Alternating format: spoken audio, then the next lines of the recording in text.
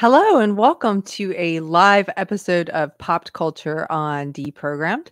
I am one of your hosts, Keri Smith. I'm here with one of my best friends, Mystery Chris. How are you, Mystery Chris? I'm good. How are you? I'm good. It's good to be back with you. Good to hang out. I'm looking forward to a fun night. I need a mood picker upper because life has been throwing me a few curveballs. And I was like, but tonight I'm going to hang out with Mr. Chris and we're going to talk about Saturday morning cartoons. Yeah. I can't believe I get to do up. this. Yeah. Yeah. We've been wanting to do this show for a long time.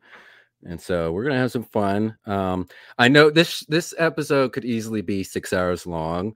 We don't have that much time, so uh, we might do maybe two two and a half hours or so. So we're going to miss a lot of shows. I know there'll be a lot of people disappointed that we didn't mention our favorite shows, and we apologize for that. And also, we apologize. We're going to go from 50s all the way to 2000s, but we're going to concentrate mostly on 80s and 90s because that's one what Keri and I know best, and two that's really the peak of cartoons in terms of uh, quantity in the 80s, and then it was very slow decline quantity wise You can you could argue uh, quality uh, when that started decline, but certainly quantity started decline in the 90s. So we're gonna be talking about all that. We're gonna, gonna also uh, show some of our favorite toys we had when we were growing up yes at the end.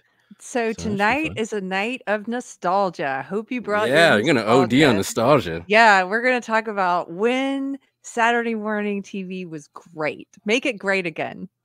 Make it great again. Um, hello to the chat. Hello to the regulars. Dobbled says late and programmed. LOL. Ha ha. Thank you for your patience. Also, Adam Worrell says, I'm beginning to think Keri's blacker than Chris. Hmm. What's that referring to? Uh, yes, I thank you for your patience. I was guesting on uh, Nina Infinity's Rumble exclusive um, show, and so thank you for waiting. Also, uh, we are simulcasting this show on Rumble, so we'll try and check in over there and see if there's any people leaving comments over there. A couple of super chats before we get started. GJJ, thank you so much, dude. Member for over a year. He says over a, a year. Hail all. Thank you, GJJ. Member for 13 months you can become a member here at YouTube if you want to support our channel. And you can also you can do that here at YouTube. You can do it at local, Subscribestar, or Patreon. And we appreciate it. Uh Pirate Tomsky. Hello, Pirate. For five pounds, Thunder, Thunder, Thunder, Thundercats. Who can you sing that? Dum dum dum dum dum dum cats. You didn't do the who. oh. Oh, okay. you can see I didn't actually watch Thundercat. We're gonna get we're gonna get I know we're gonna learn you? we're gonna learn what we watched and what we didn't watch. I didn't watch Thundercats. honest- I know what it is though. We're gonna have to ask you to leave, Keri. Ah, my girl Ann Pinkava of the politically incorrect knitters is here. Good to see you. And I see some other knitters in the chat, including uh give it up for one of our mods. Uh where is she? I saw her in here. Two sisters and some yarn is happy you're back. Yay, my man. Hello. and uh GJJ for five dollars. Thank you, GJJ says the the best was the original Jonny Quest. Jonny Quest. It's out on your list? Uh yeah, I put it on the list. Uh, It's in the 60 section. And Pyrotomsky, member for 14 months, and one of our mods here with the wrench. Pirate Pyrotomsky says, Yar, super chat your fave shows. Thank you, sir. Okay. Jonny Quest, the Summons. We also put a poll up for your favorite decade. and We'll see at the end. I have a feeling the 80s is going to win. Oh, look. Yeah. Just based on the age demographics, I think most people are around our age. So people are like, yeah, the 80s. Look at that. Already at 49%. I cast my vote for 90s. You did? Well, I can't vote, but uh I would. Why can't you vote? Well, I have to open up another screen and then have to log in. it's a lot of work. Somebody vote for Mystery Chris. yes, I need you to recreate the last election and cast a vote for me several times. Yes, uh, Pirate Tomsky. I didn't say Yar. You all. I always imagine a Yar before your comments. you mateys. Okay. Enough of that. We're gonna have some fun. So, where should we start? Um, so I guess we could start in the 50s. Uh, you think that's Yeah, you could do is we start in 50s and go through it that way. I can give a brief overview of the rise fall, or we could just start 50s and go from there. Let's start in the fifties. All I right. I think uh, I wasn't very familiar with these, and I think maybe our audience may not be as familiar with some of these either. So here we go. So, uh, first one, let's start off Crusader Rabbit. So, Crusader Rabbit was a cartoon series that premiered in 1950. This was the first cartoon series ever to be broadcast on television. And so, I had never heard of it till I was researching for the show. But uh, let's take a look. It's uh, it's interesting.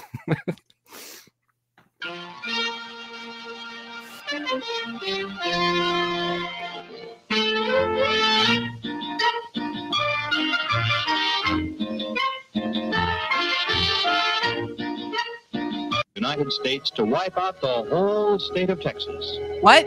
Obviously, the rabbit must have been Crusader Rabbit. Or who else would have thought of such a wonderful idea? Now, Crusader Rabbit had big, big ideals, as you can see. And when he wasn't out on a crusade, he was reading about other bold and fearless men. Sir Galahad rescued the fair maiden from the wicked dragon, and they lived happily ever after. Ah, Notice how cheap this is. He was probably the smallest rabbit you Practically ever no did. movement. It's just Yeah. stills It's and just stills. voiceover. Should we watch more of him?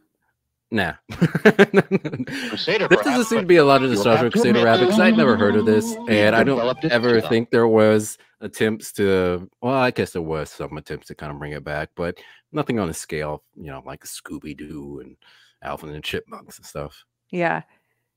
I had never heard of this. It, did- did- I'm curious. Did anyone in the chat watch Crusader Rabbit? But you said this was the first animated show. Yeah, first one. And so, yeah, there wasn't a lot of animated shows what I can tell from the 1950s. There were a lot of live action stuff, which we're going to talk about some of the live action stuff because I, I I throw that in with same on cartoons and weekday shows, of course. But yeah, there wasn't a lot of animated shows, and a lot of the shows, animated and live action, were Western themed. A lot of Mm. shows premiered on prime time and then were repurposed years later for Saturday morning. And so, um, the next one, I think you're hovering over the Lone Ranger. Uh, that I don't have to introduce the Lone Ranger. Everybody knows the Lone Ranger, even though that movie that came out a few years ago sucked. By the way, this is totally going to be demonetized. This video, and uh, which is fine. A lot of most of our videos are demonetized. However, some of them are also they get strikes if we show a lot of content. But that's what this that's what pop culture is about. We want to watch on pop culture. We look at pop culture through the lens of culture. What what made pop culture great? What's made it some of it bad? How how it's influenced culture and vice versa. And um, so we have to show clips. So if if this one gets taken down, it will be on Rumble. Just FYI. hmm The Lone Ranger.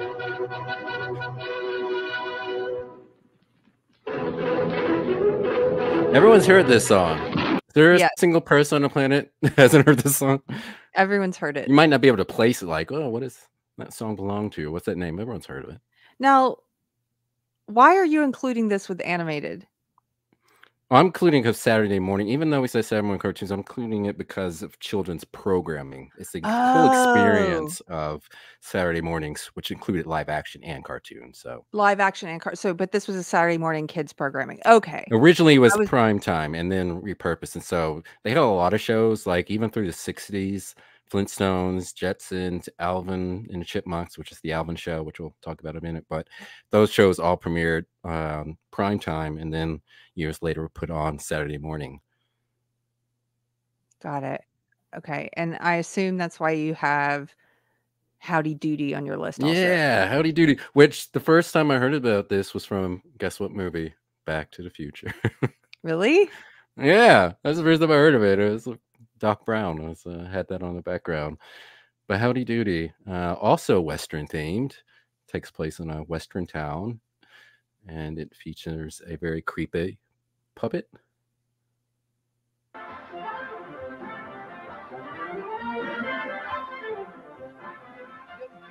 Howdy doody doody doody ho ho ho. Well, howdy doody, kids, and hey, Mr. Smith. Hi, little guy. Howdy. And Clarabelle, look at all the kids at home and all the kids in the gallery. What time is it, kids? Howdy Doody time. Uh, precious white children, yes.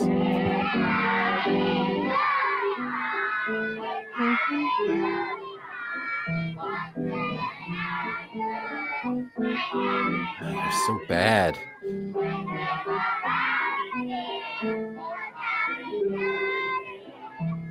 Okay. So this was this is kind of all these three shows you're saying this is sort of what was around for kids Saturday mornings in the 50s. Mm-hmm. Yeah. So this uh, Howdy Doody started off as a radio program or a character that Buffalo Bob Smith would do on the radio, and then he turned it to a show. So it started off 47, and then this show, oh, all right, yeah, this show was 47 also when uh, it started. So this ran for 13 years. You or not?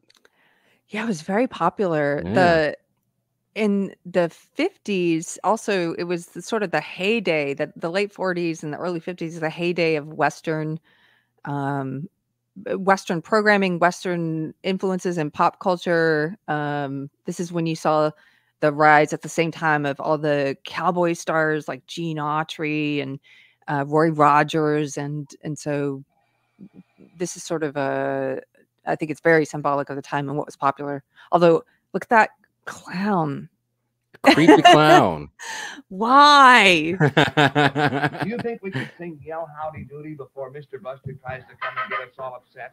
All right, now look, all you boys and girls here in the peanut gallery, when Clarabelle tells you to yell Howdy Doody, let me hear you yell it. Howdy Doody, come on. All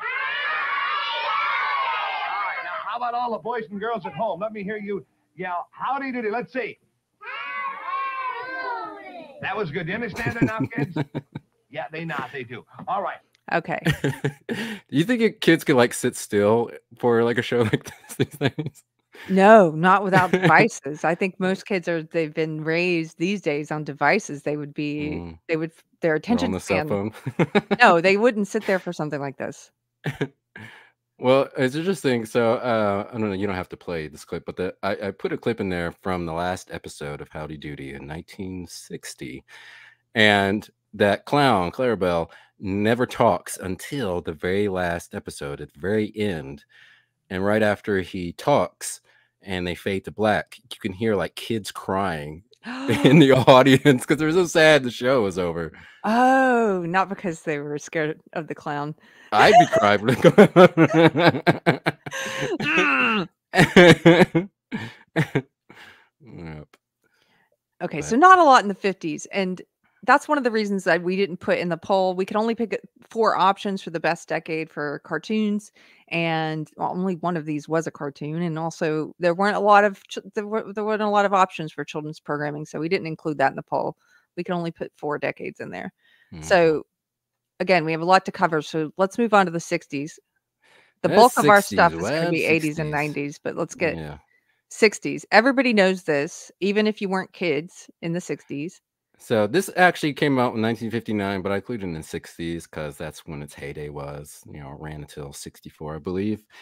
So I was never quite a uh, big fan of Rocky and Bullwinkle, but uh, the other day I was thinking about how both of the villains were communist and how awesome that is. like, think about it, like that should be a requirement for all children's cartoons. Like all villains should be communists. Dece- Decepticons, Transformers should be communist. The Misfits and Jem and the Hologram should be communist. The Beagle Boys and DuckTales should be communist. All every single one should be a communist. Yeah, make it reflective. How else are kids going to learn? reflective of real life. Yes. Now what they do is they make the communists the heroes. That's what they're doing now. but yes, Rocky and Bullwinkle was a very popular and still popular. Hence why so many people still know who these characters are. We've got a couple fans in the chat. Wabbit. Uh, also, Pirate Tomsky just gifted 10 deprogram memberships. Thank you, Pirate Tomsky. yeah. And so did GJJ. They're in a competition now. 20 deprogram memberships. Thank you so Para, much. 20, 20, then go- going for 30, Hey, 30. 20. Grab those up if you're in the chat. Grab up a membership. Thanks to these two guys. Thank you guys. Okay, what else do you have in the 60s? Uh, do you want to briefly play a little bit of Alvin? Yeah, this is another one. So we've talked about this before, but I think in general, um, kids used to be more familiar with uh, uh, programming from previous decades. Like we grew up, we were aware of popular programming. It still had an influence on culture and on pop culture. At, at- when we grew up in the 80s, we knew of a lot of the the shows from the 60s and 70s. And I don't think that's I don't think that's the same anymore. I don't know if a lot of young kids are familiar with the the shows that we grew up on. I think some of them are discovering them and sort of having this nostalgia for a time they did not live through. Some of them are, but a lot of kids are not familiar with thing things from the past like we used to be. It's, it's things are too fragmented these days because like when we were kids we didn't have a whole lot of options for entertainment. Yeah we had broadcast and cable and stuff and so a lot of times i was looking for cartoons to watch at night but this was before like 24 7 cartoon channels and so i would end up having to watch nick at night and so they had old episodes of green acres and uh, my three sons and bewitched and so i would watch that but if I had the option, like kids they do today, of just streaming cartoons and doing you know stuff on the internet, then I probably wouldn't be familiar with a lot of those old shows because I just wouldn't go out of my way to look these look them up. And Mhm. that's one of the sad things I think that's been lost with uh, the decline of Saturday morning cartoons because it really was our shared experience as kids. Like it, it was sporting events, but it's because today as an adult i can watch football on saturday mornings and if you know some crazy touchdown happens college football or something i can text all my friends go whoa did you just see that? But like back in the day when we were kids we'd be watching these cartoons and then on the monday morning at school we'd go to a friend who like oh did you see what screech did on saved by the bell? Yeah. like that was our water cooler talk. And so there was a real uh, almost bonding because of that shared experience some of our friends had watching the same stuff we were Yes. Um here, let me let me add this back. There are people in the chat also echoing this. Um here's one. Snorum, hello, says that's so true. I watched mostly in the 70s, but I knew all about Bullwinkle and Alvin before the 80s reboot and other IPs.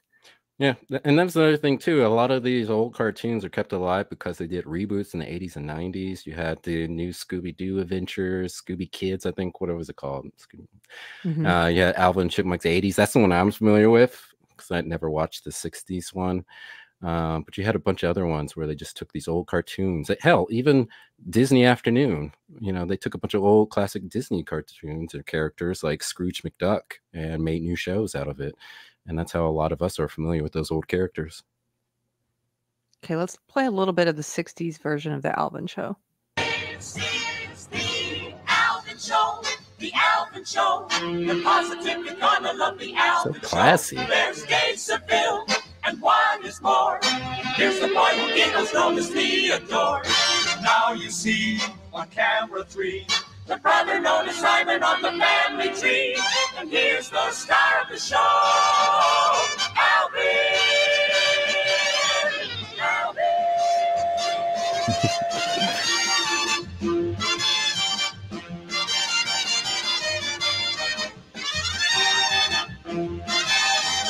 So yeah, it goes on. But What? but yeah, th- this I was just saying it goes on. But but this this show they took a lot of songs from the Chipmunk albums that came out in late fifties, early sixties, and basically incorporated into the cartoon. So they went through like three albums in this cartoon, just those music from those albums.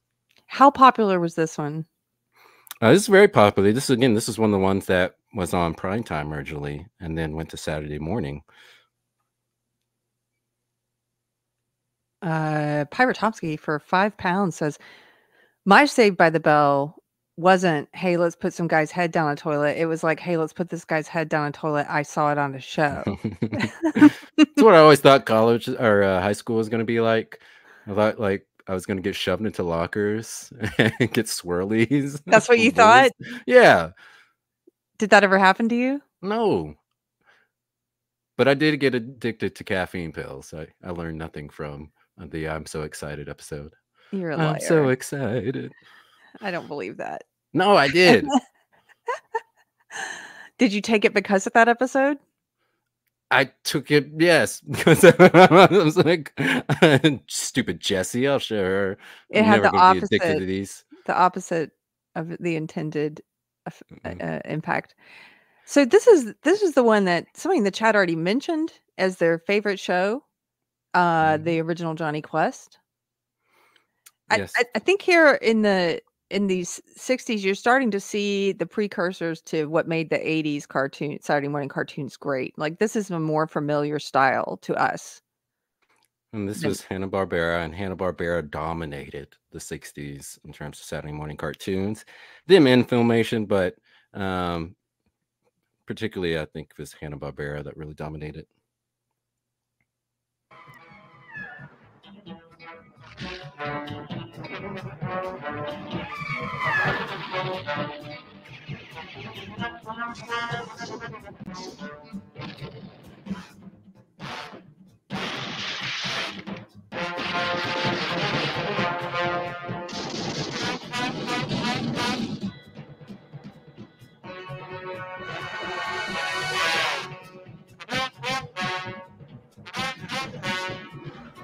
I mean, this is it- an exciting show. Go ahead. Oh, I, I I was never like a huge fan of Jonny Quest, but I do like looking back on it. I like that it's just a bunch of dudes fighting crime and going on adventures together. It's Jonny Quest, his dad, his bodyguard, and their tiger, and it's great.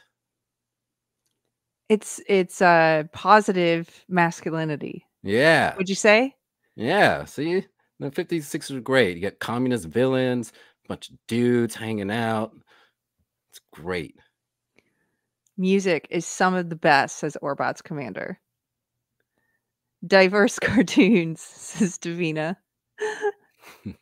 oh, and Adam. Is it Adam that noticed uh, indigenous representation at the beginning? Yeah, yeah. Then- yeah, yeah, yeah. Uh, plus, he said that guy looks like Mike Pence. he does. so we should do a voiceover of Mike Pence with him. That'd be hilarious.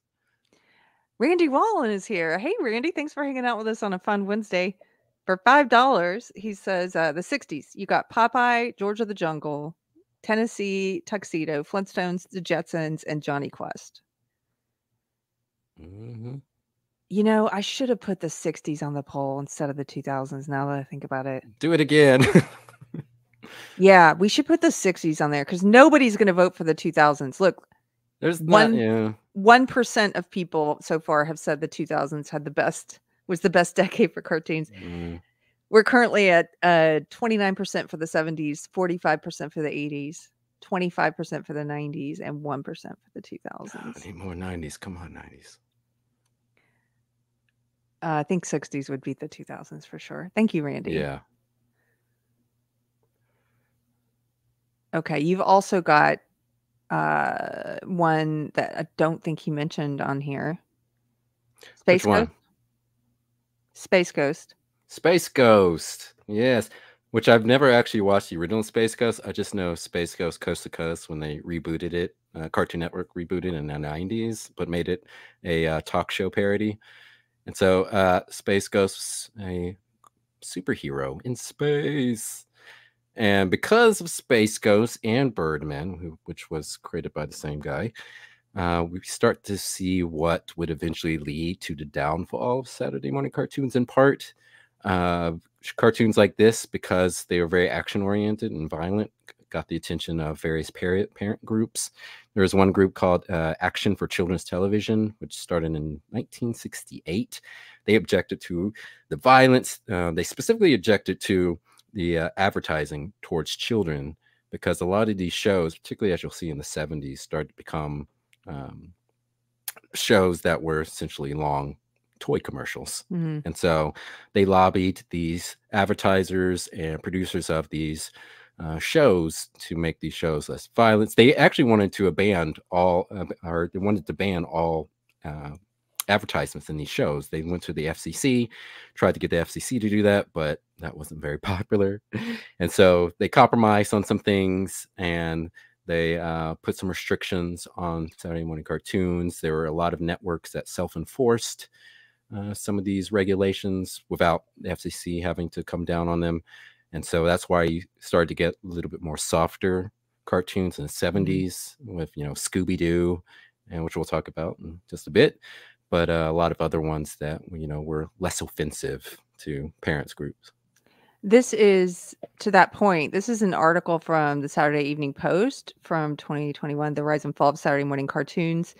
Uh, for almost four decades, watching Saturday morning cartoons was a beloved ritual for millions of American kids. So, why were they so controversial? This was by Charles Moss, and he he talks about this how uh, in the six starting in the 60s, but all the way through the 70s, the 70s, especially the 70s and 80s, a lot of these cartoons were um there was a boom of the Saturday morning cartoons and the audience was huge because they were doing tie-ins with merchandisers. And that's why you're going to talk about some of we're going to talk about some of our favorite toys from this time because it went hand in hand. And they were they started they were creating kids cartoons based on toys. Um and so they were also marketing to kids because they knew kids were watching these shows the in the cereal commercial everything in you know during this program was directed towards children and so i just wanted to read this part of this article unless you wanted to read more parent No, however we'll- I, I just wanted to briefly mention that uh, one of the things they lobbied uh, against, or they found out, they commissioned some studies and found out that kids couldn't differentiate between the shows and the commercials. yes And so they were very upset about that. And that's one of the reasons why you got those commercial breaks. Like uh, I remember in the 90s, ABC had the after these messages, we'll be right back. Those things to, you know, show kids, hey, we're going on break. what you're about to see is a commercial. Yes. This is basically what you were saying is that they had concerns about the violence, the stereotypes, the commercialism. And like you said, they found that kids could not tell the difference between what was the show and what was the advertisement, which is kind of funny to me because today in 2024, we have parents and government officials and doctors saying that children can are, are capable of determining if they are okay sterilizing themselves and cutting their body parts off, but they they can't tell the difference between a TV show and a commercial. like, you know, they had a better understanding of what kids were like back then, and they were Well- worried. They said that on Mhm. average, they were finding that uh, kids were watching up to three hours of television a day, which was they were worried about that. Think about how much time kids spend in front of some kind of screen today. And like I, I, I, on one hand, I do get you know the concern. Like I understand people don't like the idea of kids being you know marketed to you know being a demographic that advertisers are going after. But at the same time, like cat's out of the bag. It's like there's no way you could put that genie back in the bottle. I mean, now they tried putting these regulations, which ended up to killing Saturday morning cartoons. In in addition to technology, but uh, it ended up not having the effect that they wanted to because you know the internet and so many other sources of advertising towards kids and so it's like i, I, get- I get it but you know it, it didn't, didn't work and and one of the things to that point about uh, kids not being able to differentiate between the shows and commercials one of the reasons why they kids were having trouble doing that is because a lot of these cereal companies use cartoons as their mascots and so you think Mm. about all those you know major um, cereal brands from 80s and 90s and all that they they're all cartoon characters trix rabbit tony the tiger you know they had the uh with those three chefs for cinnamon toast crunch count chocula goes on and on Yeah. They did use they used cartoons to sell the product. I loved Count Chocula and Boo Berry. Like, that's why I wanted to eat the cereal. when I was a kid, Go ahead. I, I when I was a kid and I eat frosted flakes, I would literally take a cup of sugar, pour it on my frosted flakes, put the milk in. After I was done eating the frosted flakes, I would then scoop up the milky sugar at the bottom of the bowl and eat all of it. I should be dead, Keri. no. Oh man. Uh Randy, we got yours. Thank you. Uh Matthew Hammond for 499. Thank you. Matthew says we have Steven Spielberg uh, for getting the D- WB back into animation with Tiny Toon Adventures. Tiny Toons was great, which led to Batman the animated series. The intro was their pitch. Warner Brothers had a lot of great cartoons in the 90s. And that's one of the reasons why Fox kids suffered when WB came around and created the WB stations. They pulled off most of their WB produced cartoons, and Fox didn't really have a whole lot left. And it suffered because of it. Should we uh, watch a little bit more of Space Ghost, or let's move on to Let's the go 70s? 70s. yeah let's get let's get into it okay we're getting into our favorite bits sorry I got in that. So this first one this is Scooby Doo. I don't think I have to introduce Scooby Doo at all because everybody knows who Scooby Doo is. Which I was never a fan of Scooby Doo. I always found that premise boring.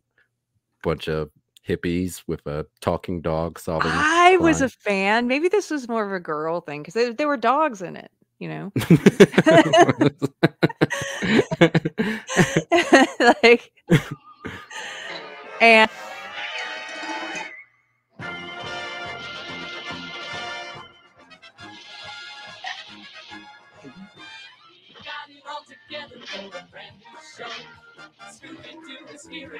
Now, somebody said in the chat, and I can't find it because it's scrolling by pretty fast, but I saw somebody said this was back before Velma was a lesbian, Yeah. which is true.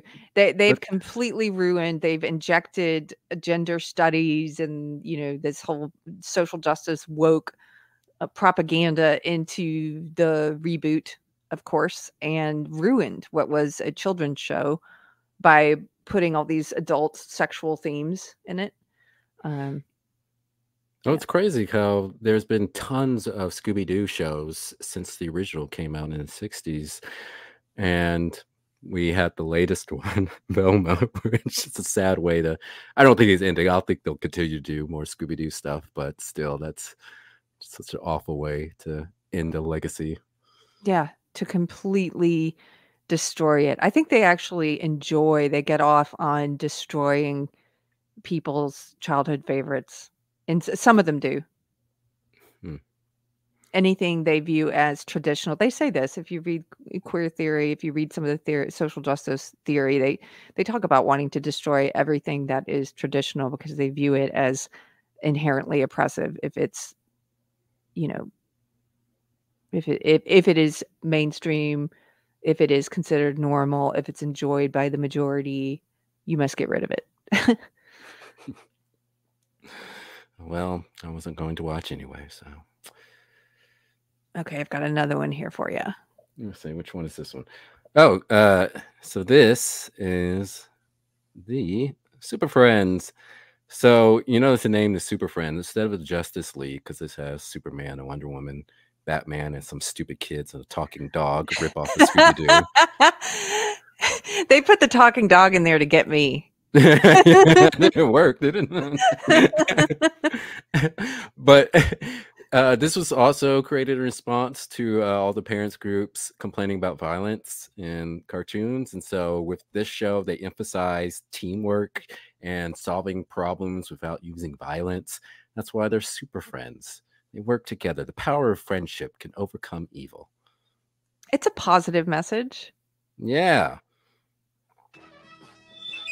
In the great hall of the Justice League, there are assembled the world's four greatest heroes, created from the cosmic legends of the universe. Superman. Wonder Woman. Batman. They put those characters. It doesn't doesn't fit at all. And those three junior super friends, Wendy, Marvin, and Wonder Dog. Is, is there anybody nostalgic for these characters? No, but this is how when you were a kid, you could see yourself as part of it because you're not a I don't want. I don't want that. No, But didn't the, 'cause wanna that see thing that pissed me off. Like when they put Robin in there. Like I don't want to be Robin. Nobody wants to be Robin. I want to be Batman.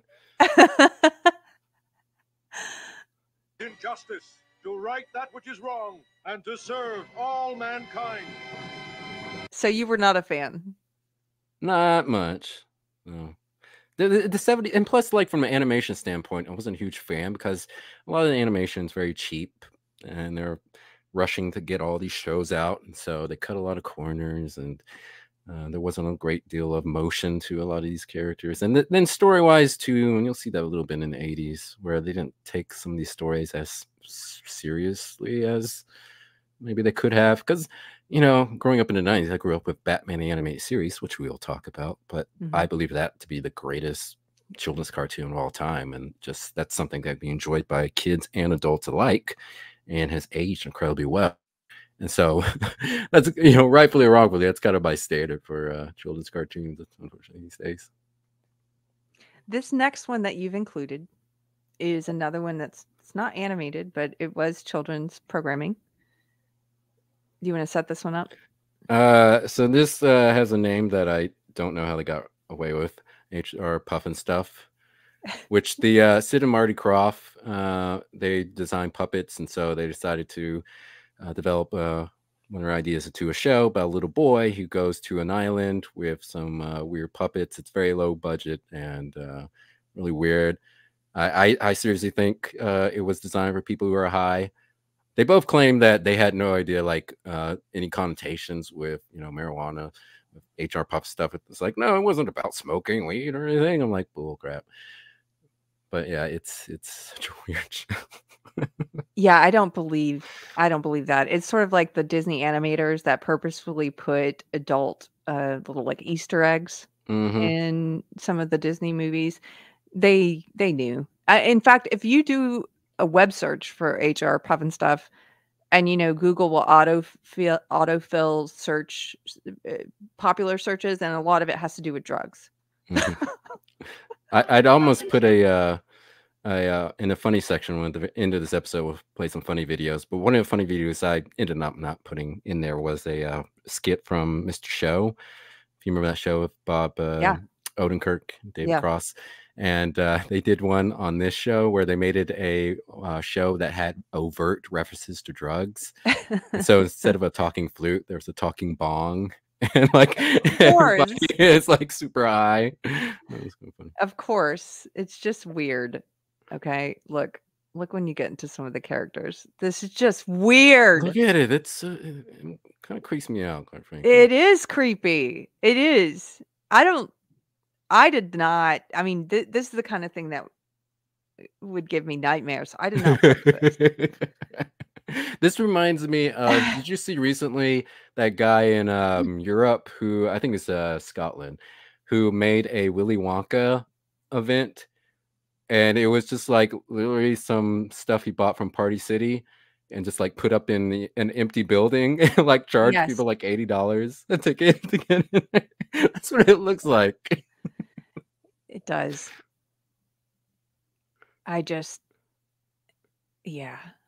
Yeah. Let's stop. I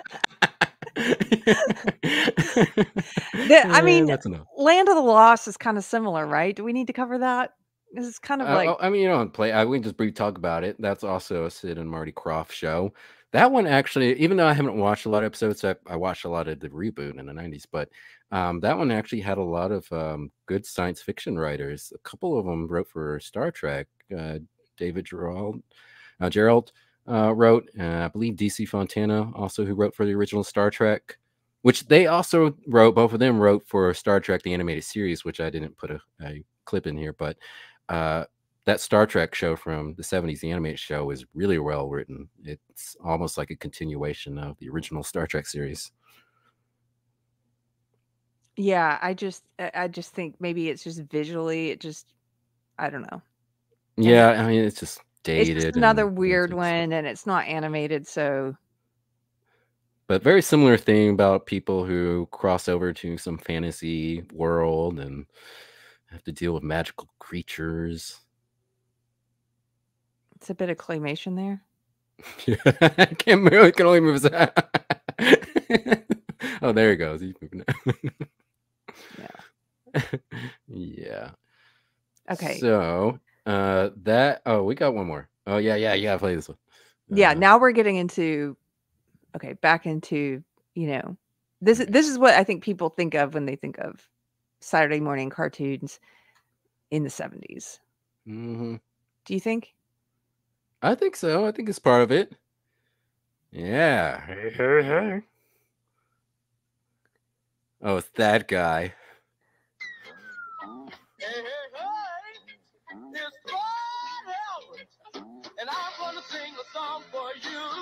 Now, did you watch this one?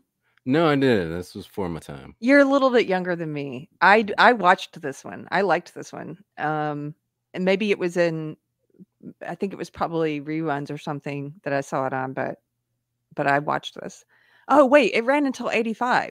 So Mhm. no, I probably watched it Probably when it was airing. Or when is there? Yeah, yeah, I'm old enough.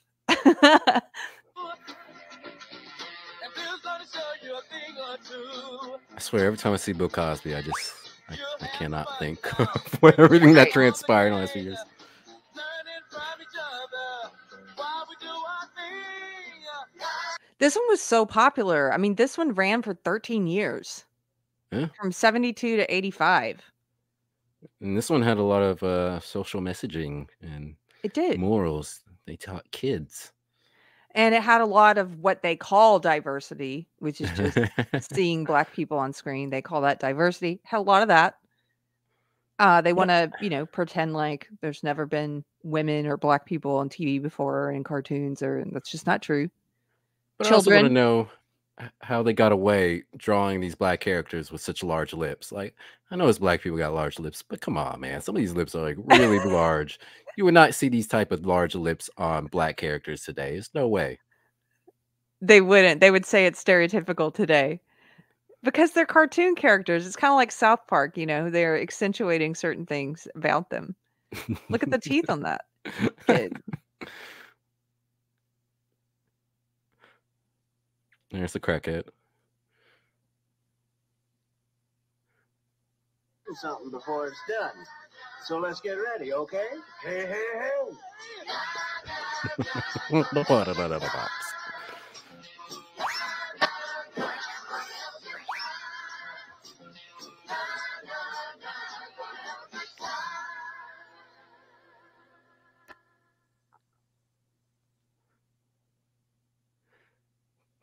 Can, can- can you briefly show um, that that third clip? Just a little bit of it. I just want to give example of some of the uh, social messaging that was included on this program. hmm This was a weird but kind of funny.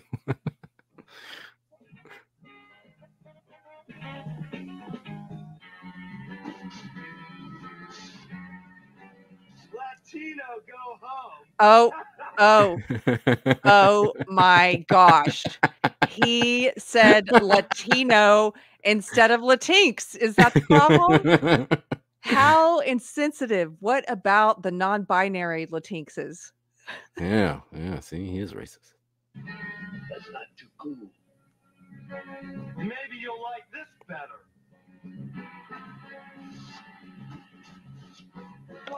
Go home. I like that he said blacks. He could have said He could have you said know, something, else. else. Yeah, he's very nice, politically correct race. He's a politically people of color go home. African Americans, get away from me. Plus, look at the uniform he's wearing. Really? In the US? Okay. Disney hates everybody and everything. Look, Tubby, run along before you get hurt. Wait a minute. Wait a minute. What? Look at what he's wearing. He's wearing uh, it's one of it's the XX, meaning he's a woman. He's a turf. This is a turf design. That's why he's so angry. Huh? the famous artist Bertie Rose sells T-shirts and hats with the XX on it to say like women, women are here. I got to send this to her. And in fact, this looks like her. I'm gonna, I'm gonna send it to her.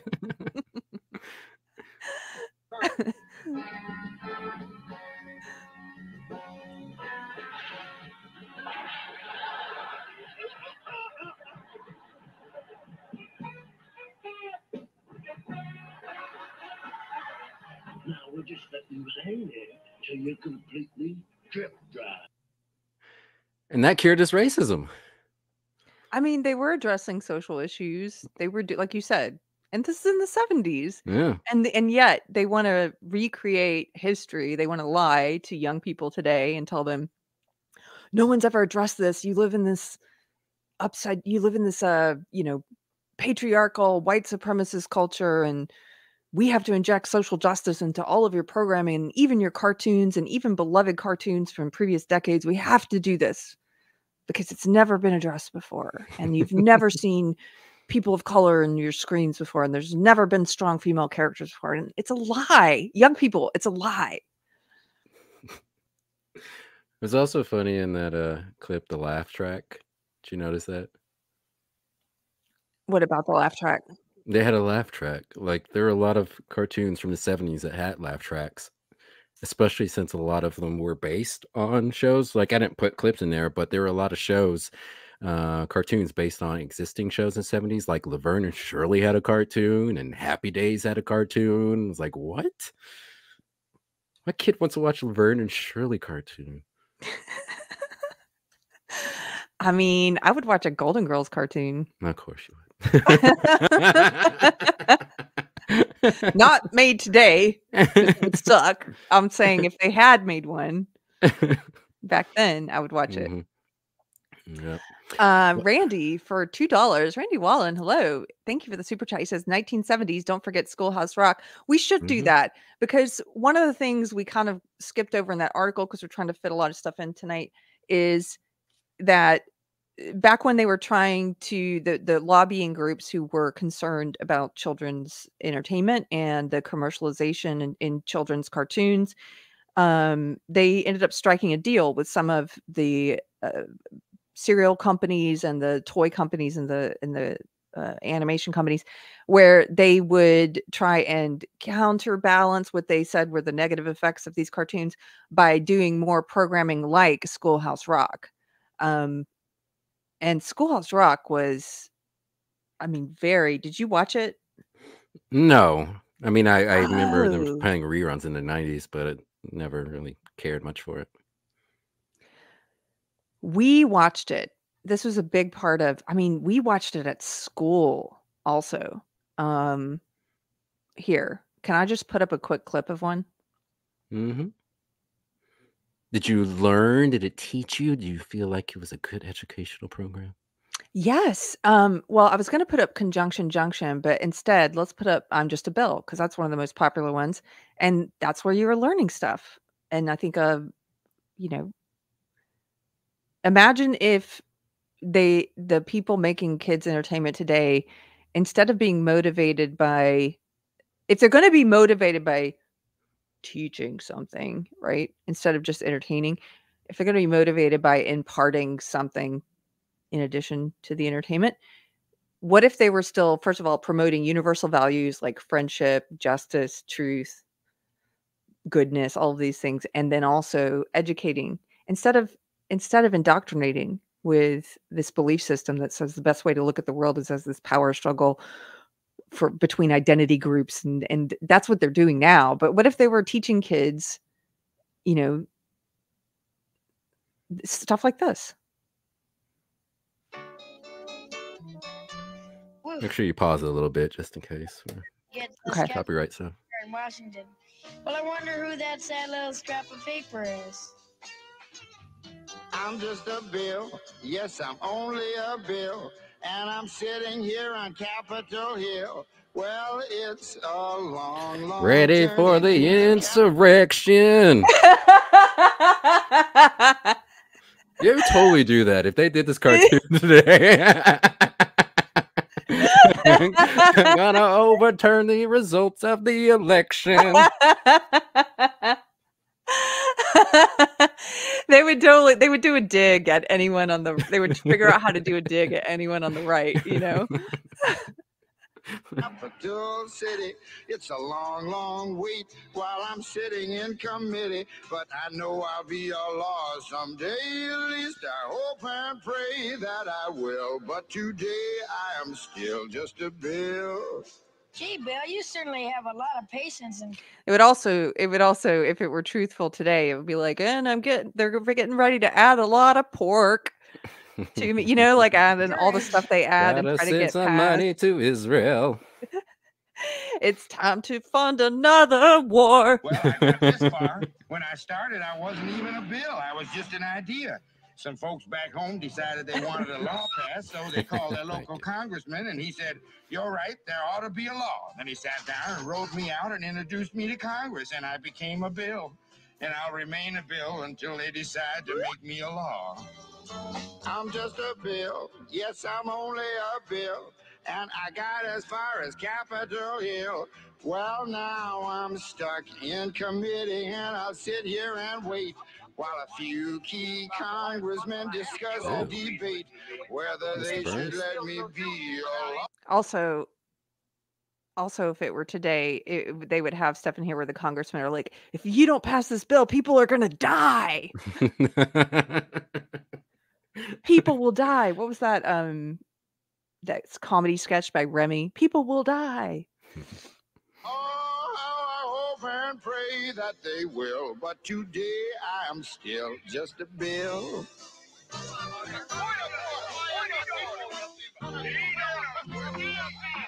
listen to those congressmen arguing.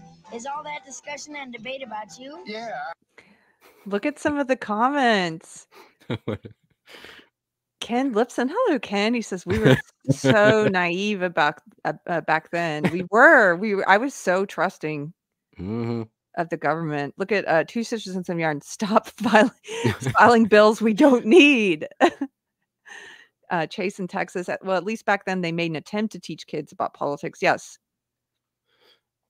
If this was realistic, when that little boy uh, put his ear to the keyhole to listen in, he would have heard a bunch of politicians go, "So, uh, what time does your flight get in on Epstein's Island?"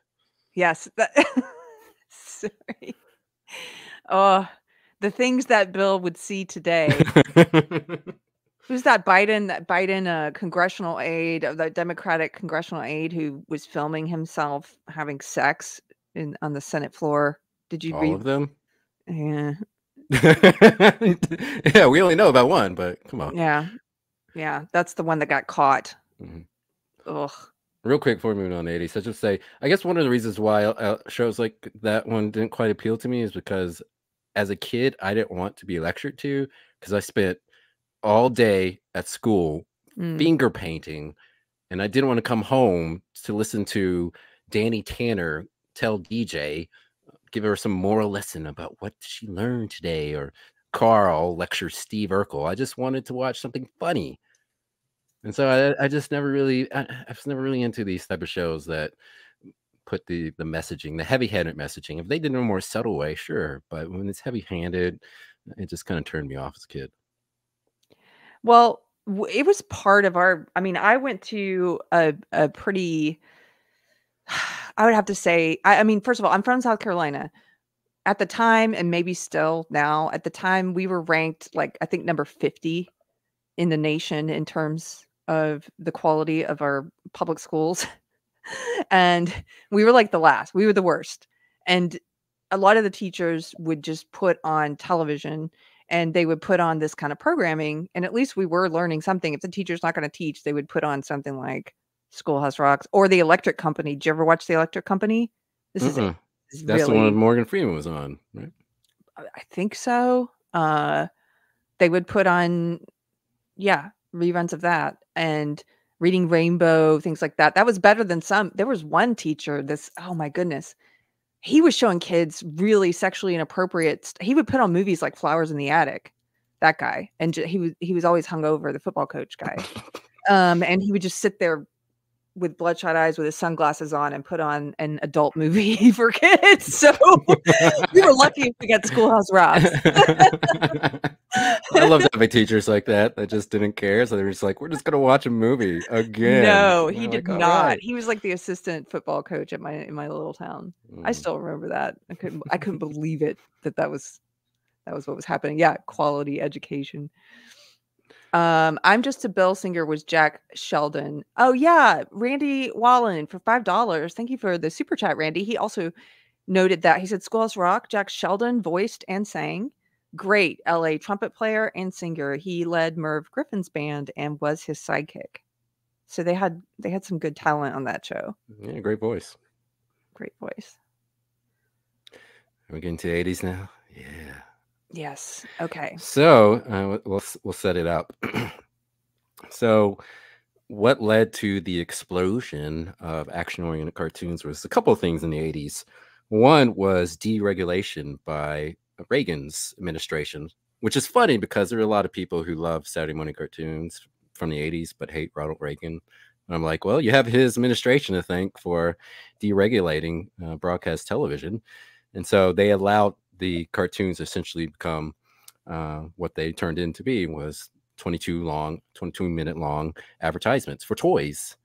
And so that deregulation paired with uh, the rise of the syndication market and syndication for those who may not know is when producers of various shows will sell broadcasting rights to individual stations. And so it'll be either first run syndication meaning it's never been shown before or reruns and so, since a lot of independent stations arose in the 1970s, particularly because of government regulation that forbid um, networks programming at certain hours and some other regulations that created a bunch of independent stations around the United States, um, these independent stations needed uh, programming to show. And so, a lot of these animated shows in the 80s uh, would approach these uh, networks and sell them uh, these shows. But sometimes, because it got so competitive in the mid 80s, they would give these shows away for free to these uh, networks or these independent networks, and in exchange for the right to put their own advertisements, whatever advertisements they wanted, they could sell the advertisement blocks during these shows to whoever they wanted. And a lot of times it was toy companies funding this. But uh, what really got things started off in the 80s is uh, He Man. Let's start with He Man. Okay. So, He Man. real real quick just because i saw this in the chat now that you've set that up i just want to show here i just want to show this very quickly because of this super chat from ken lipson for five dollars my favorite was the hanna-barbera olympics i always hoped it was going to be on that weekend uh did you watch this ever I never even heard of it. so this is where they would take different Hanna Barbera characters first and they would have them play sports against each other. So they would bring on like Scooby Doo and they would basically the Flintstones and they would have an Olympics with all the different characters. It's kind of cool. Did the talking dogs all win? I hope so. Okay. Now let's go back to He Man. Okay. So He Man. So He Man uh, started off as a toy line. So initially, the makers of Conan Barbarian movie, the one with Arnold Schwarzenegger, the first one, they approached. Uh, I think it was Has was no, it was Mattel, and they were going to make some toys for Conan Barbarian, but they hold on, wait, wait, pause it. You got to hear the music. The music's Okay. in this. Um, but yeah, they were going to make a Conan Barbarian toy line, but Mattel didn't like that the movie's going to be rated R. So uh, Mattel just developed their own uh, character, which um, um, the makers of Conan Barbarian uh, movie thought they had ripped off when they made He-Man. So they actually sued Mattel, which Mattel won. But Wow. they apparently Mattel Mattel says they had been working on the character before uh, Conan Barbarian people approached them. And so Mattel did a lot of research, found out that boys love fantasy and barbarians. And so they decided to create this character who's from uh, planet Eternia. And he has got a magical sword that turns him into He Man, who's got giant muscles and fights uh, uh, Skeletor. And so they ended up making these big muscle toys, which stood out. At the time, we take it for granted. Like we think like toys were always like huge muscles and stuff, but there wasn't really a lot until like He Man came around and uh, had the steroid looking toys. And so the toys came out first, along with uh, I think I think it was a Marvel comic. Uh, that got huge, and I think it was like '82. And then in '83, they did the show, and they sold it uh, to syndication market. Originally, they they approached the networks to show it on Saturday morning, but the, none of the networks wanted it, and so they approached independent stations and arranged for it to be shown on afternoons, uh, weekday afternoons and it was a huge hit. And because one of the reasons why syndication markets these after school um, um blocks, cartoon blocks, were um, so popular is because the FCC regulations. There weren't a lot of regulations that regulated independent stations, and so they could get away with a lot more violent content and other things. But despite that, the makers of He-Man and GI Joe, which we'll talk about later, uh, try to incorporate some some moral lessons in there. GI Joe would do the uh, the PSA, the, the often parodied PSA at the end of the episode, telling kids not to smoke drugs. Here are some of the toys. Yeah. We played with these. Okay, my brother had a Castle Grayskull and Snake Mountain, and we had a bunch of these. I remember Beastman, uh, Man of War. Uh, we had that guy down there in the bottom left. I forget what he's called. Sucker Mouth. he had a ton of these and my sister and brother and i played with them i mean it wasn't you know he we, we we had one brother one one boy in the family so it wasn't like he had brothers we we would play with these all the time and uh and then I look at this this is on ebay right now for 80 85 they're go i mean the 80s ones go for a, a little bit now and and my my sister unfortunately um sold all my brother's he-man for i think like a nickel a piece or something without him knowing. It's pretty Ouch. upsetting.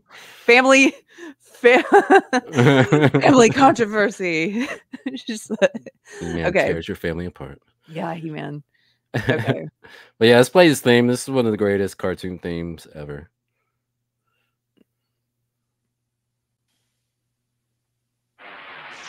and the masters of the universe. I am Adam, Prince of Eternia and defender of the secrets of Castle Grayskull. This is Cringer, my fearless friend. Fabulous secret powers were revealed to me the day I held aloft my magic sword and said, By the power of Grayskull!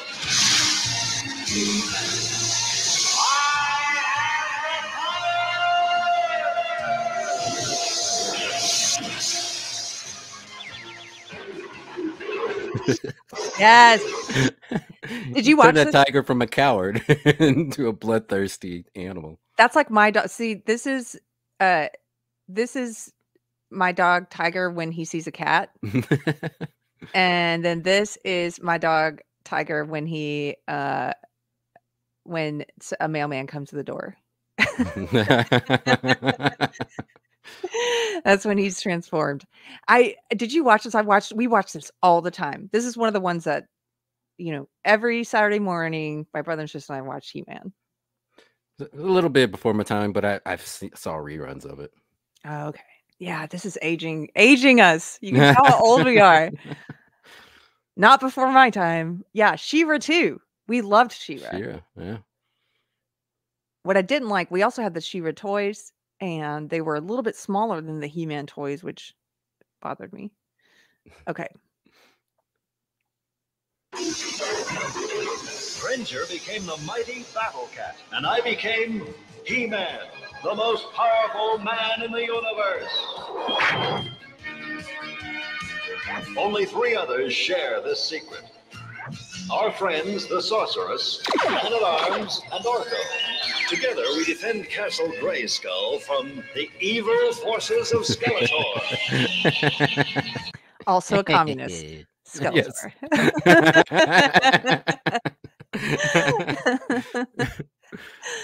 Okay, that's one of the best. Yeah. right? One of the best. This, this is why huge. people are voting for the 80s in the poll. It- It's uh, because of shows like this. And oh wow, somebody says no, I'm here for the 90s stuff. Well, so's Mystery Hell Chris. yeah. Oh, we're gonna get to that. Kevin Anderson, all this stuff is after my time. you can still try. Uh, Bungalow Logic. Gen X had the greatest childhoods in all of human history. No denying, no arguing. The science is settled.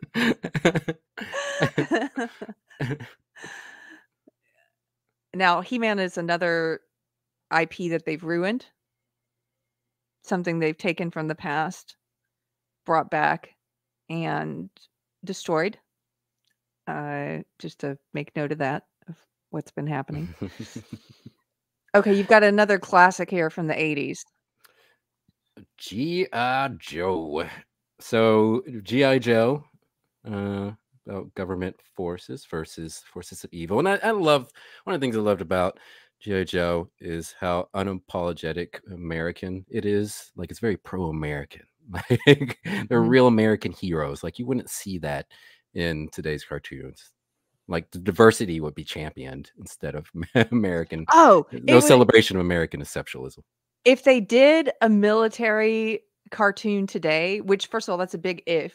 I don't think they, but if they did, it would all be trans women military members. Do you know what I mean? Like it would be like some of the marketing that they're doing for the army right now, which is mm. trying to appeal to woke, trying to appeal to the, this ideology about gender identity and yeah, it, it wouldn't be the same. But yeah, play this. This is a great theme too. Wherever there's trouble. G.I. Joe is there. G.I. Joe, American hero. G.I. Joe is there. G.I. Joe against Cobra, the enemy, fighting to save the day. He never gives up, he's always there, fighting for freedom over land and air. G.I. Joe, G.I. Joe is there. G.I. Joe is the code name Yeah. for America's daring, highly trained special mission. Now, did you play Hell this yeah. one? What? Did you watch this one? Sorry. I watched it. uh, in reruns, I saw a bit of it. We watched this one also. Also, again, my brother had all the toys. We played with it, not as much as He Man, but we did play with G.I. Joe. We did play with G.I. Joe and Barbies together, and we didn't have the old G. We had the little tiny G.I. Joes, and the Barbies towered over them. so we would make the Barbies like aliens from another planet. well, the original G.I. Joes from the '60s were basically Ken from Yes, they and were. And so, like when the '80s came around, uh, Hasbro wanted to revitalize their GI Joe line, and so they decided to make them smaller, which meant that they could make play sets, and it was cheaper to make two. Mhm. And um, yeah, it, GI Joe is one of the enduring cartoons from that era, and still has a large following despite them making poor movies and cartoons. Okay, we've got another classic here. Oh wait, before you go, uh, can you show that article real quick? That G- on the GI Joe. Um, let's see. I just want to show for pictures. Oh yeah, yeah, uh, yeah. So this, I just want to give an example of some of the crazy playsets that existed for GI Joe. Like I, I this toy we're about to show, I've never seen it in person. I've only seen pictures of it. It's, it, I just can't fathom how it ever actually existed. This first one. Yeah, look at that. Wow. It's huge. It's like a bed. The kid could like lay on there and sleep on it, Who had this? bed. We didn't have this. I mean, imagine whoever had them must have been the coolest kid on the block, easily. Some some kids, either parents with money or parents without money, but who saved forever because they wanted to get their kids like the nicest, most expensive toy. I can't even. Yeah, I never saw this. huge that is. I, I, I really want to know how much it cost back then. Like now, of course, it could be expensive, but it must have been pretty expensive too back then. I would imagine. Course, inflation wasn't what it is now, but Listen to this. Um, named after Commander General Flagg, GI Joe USS Flagg aircraft carrier reproduces the design of Nimitz carriers, which established the maritime dominance of U.S. naval force in the 1980s. It is without a doubt a game changer in toy history. In fact, with unparalleled size, it is probably one of the most spectacular playsets ever seen, measuring nearly seven and a half feet in length by two and a half feet in width. Jeez. Highly sought after collectible today. Uh, yeah, I wonder how much these go for on eBay. Probably. Just yeah, can't that's- believe it. it's incredible. You're just- No. You're like, I want one. yeah. Hell yeah. Okay, now I know what to try and get you. If anybody has one they want to donate, yeah. okay, let's see. Let's add this one to the stage. Now we're getting into another classic 80s. Watched it all the time. Did you watch this one? Uh, reruns again.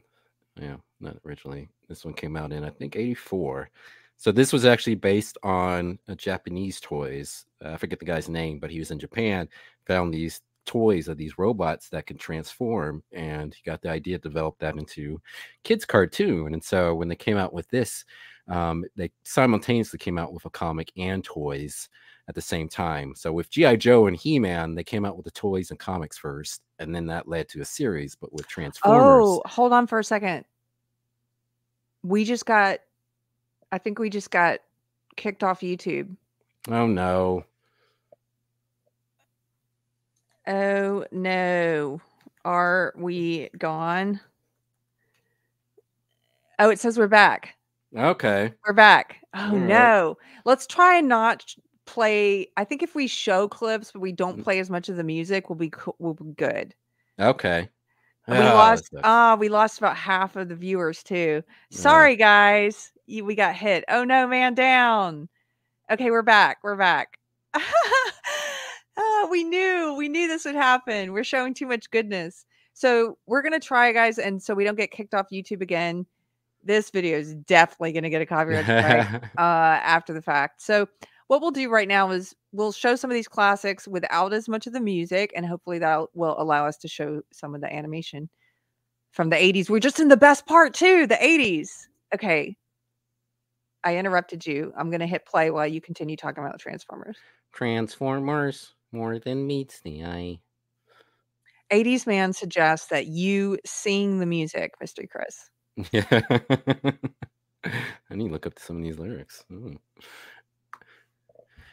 But yes, uh, Transformers was the uh, one perfect way to sell toys because you had so many different Transformers that they could easily get rid of, which they did get rid of some of them in Transformers the movie, uh, the infamous Transformers the movie, uh, where they killed off Optimus Prime and a bunch of other Transformers so they could introduce more toys.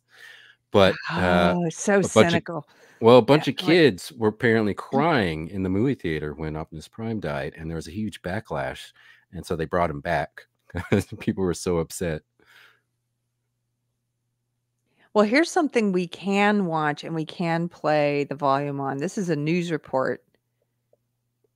Can I Oh, put this up? Yeah, put that up. Okay. I you guys know if you're regular viewers how much I love um I love the news reports that Mystery Chris finds. They sort of take you back in time. So this is from 1984. Yes. Should should we set this up or just hit play? Oh yeah, it's just about the toy craze of Transformers and GoBots, which is essentially the same thing as Transformers. Except nobody knows what go go yeah, are. no GoBots movies. Sorry. And cat Move over, Cabbage Patch. There's a new kid on the block. A robot which can be transformed into other objects. It's the new craze sweeping the country, one which has caught the imagination of kids on the coast as well. They're more than one toy. You can take it and say a transformer can be a car, and you convert it into a plane or a pistol or, or some other kind of a toy. And it's uh, very interesting. It's it's got a lot of moving parts, and it's uh, an educational type toy. Stores Yeah. handling the GoBots, Converter Bots, and Transformers say they have had to reorder the product several times this Christmas season due to their popularity. All devices come assembled. This one, for instance, is known as the Transformer. What starts out as a robot can be broken down by folding its arms and legs. The result product is a tape recorder.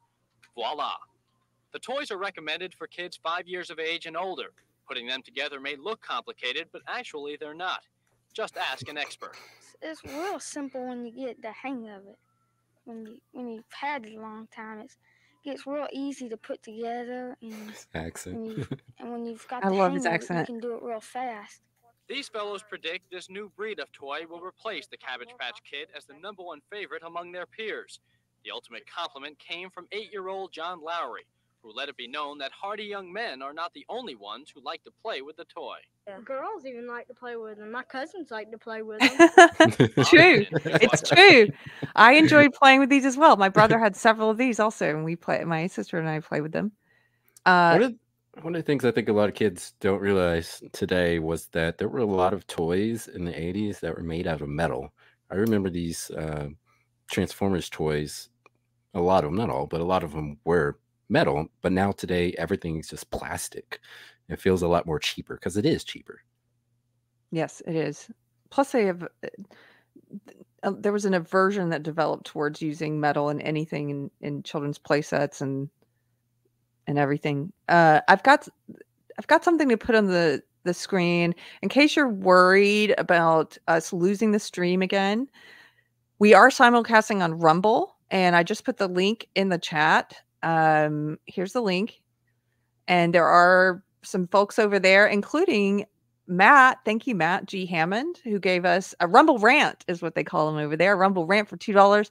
He says, "Tell people to come to Rumble. Outside of Batman, the animated series, the real Ghostbusters and Teenage Mutant Ninja Turtles were the best." The real Ghostbusters, which we'll talk about, that was a probably I think that was the best cartoon of the 80s. That's such a well written show. And that had a lot of big science fiction writers on it. J. Michael Straczynski, who created Babylon 5, was a writer on that. They had some Star Trek writers on that. Just a well written show. And and I figured that was going to be one of your favorites.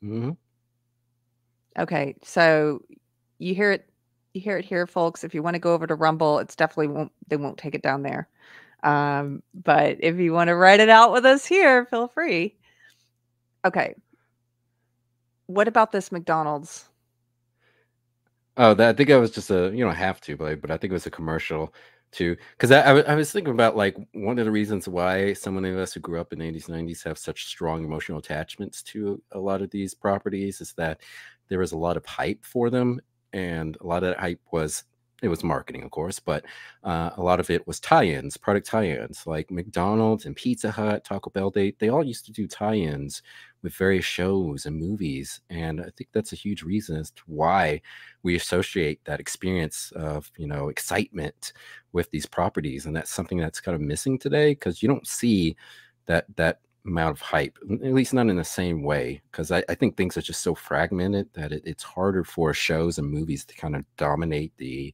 national consciousness or the, the zeitgeist in the way they mm-hmm. used to. And I think that's one of the reasons why a lot of these properties, even when they bring them back, don't catch on with younger people as much because it's there's just too not many the same options environment. you know. yeah the environment's different media is different and uh, you know there's too many places for you would have to do I mean, a lot of people, as you know, they're advertising via TikTok today. They're paying TikTok peep kids and adults and with channels to do stuff, and it's not the same as like, oh, we have a deal with McDonald's for toys. I mean, who cares? But if you've got a TikToker, you know, I do want to see this. I love old commercials as much as I love old news. So just part of it. I think we could do the volume on this probably, right? Yeah, I think so. Children, can you tell me what it means to have a choice? Choice means I can pick the one I want. Like at McDonald's. McDonald's? Yeah. In McDonald's Happy Meal, you can get a Transformers figurine like Brawn and Gear. Ah! Or My Little Pony charm like Blossom and Butterscotch. What we're trying to say is that you can choose a Transformers figurine or a My Little Pony charm in every Happy Meal.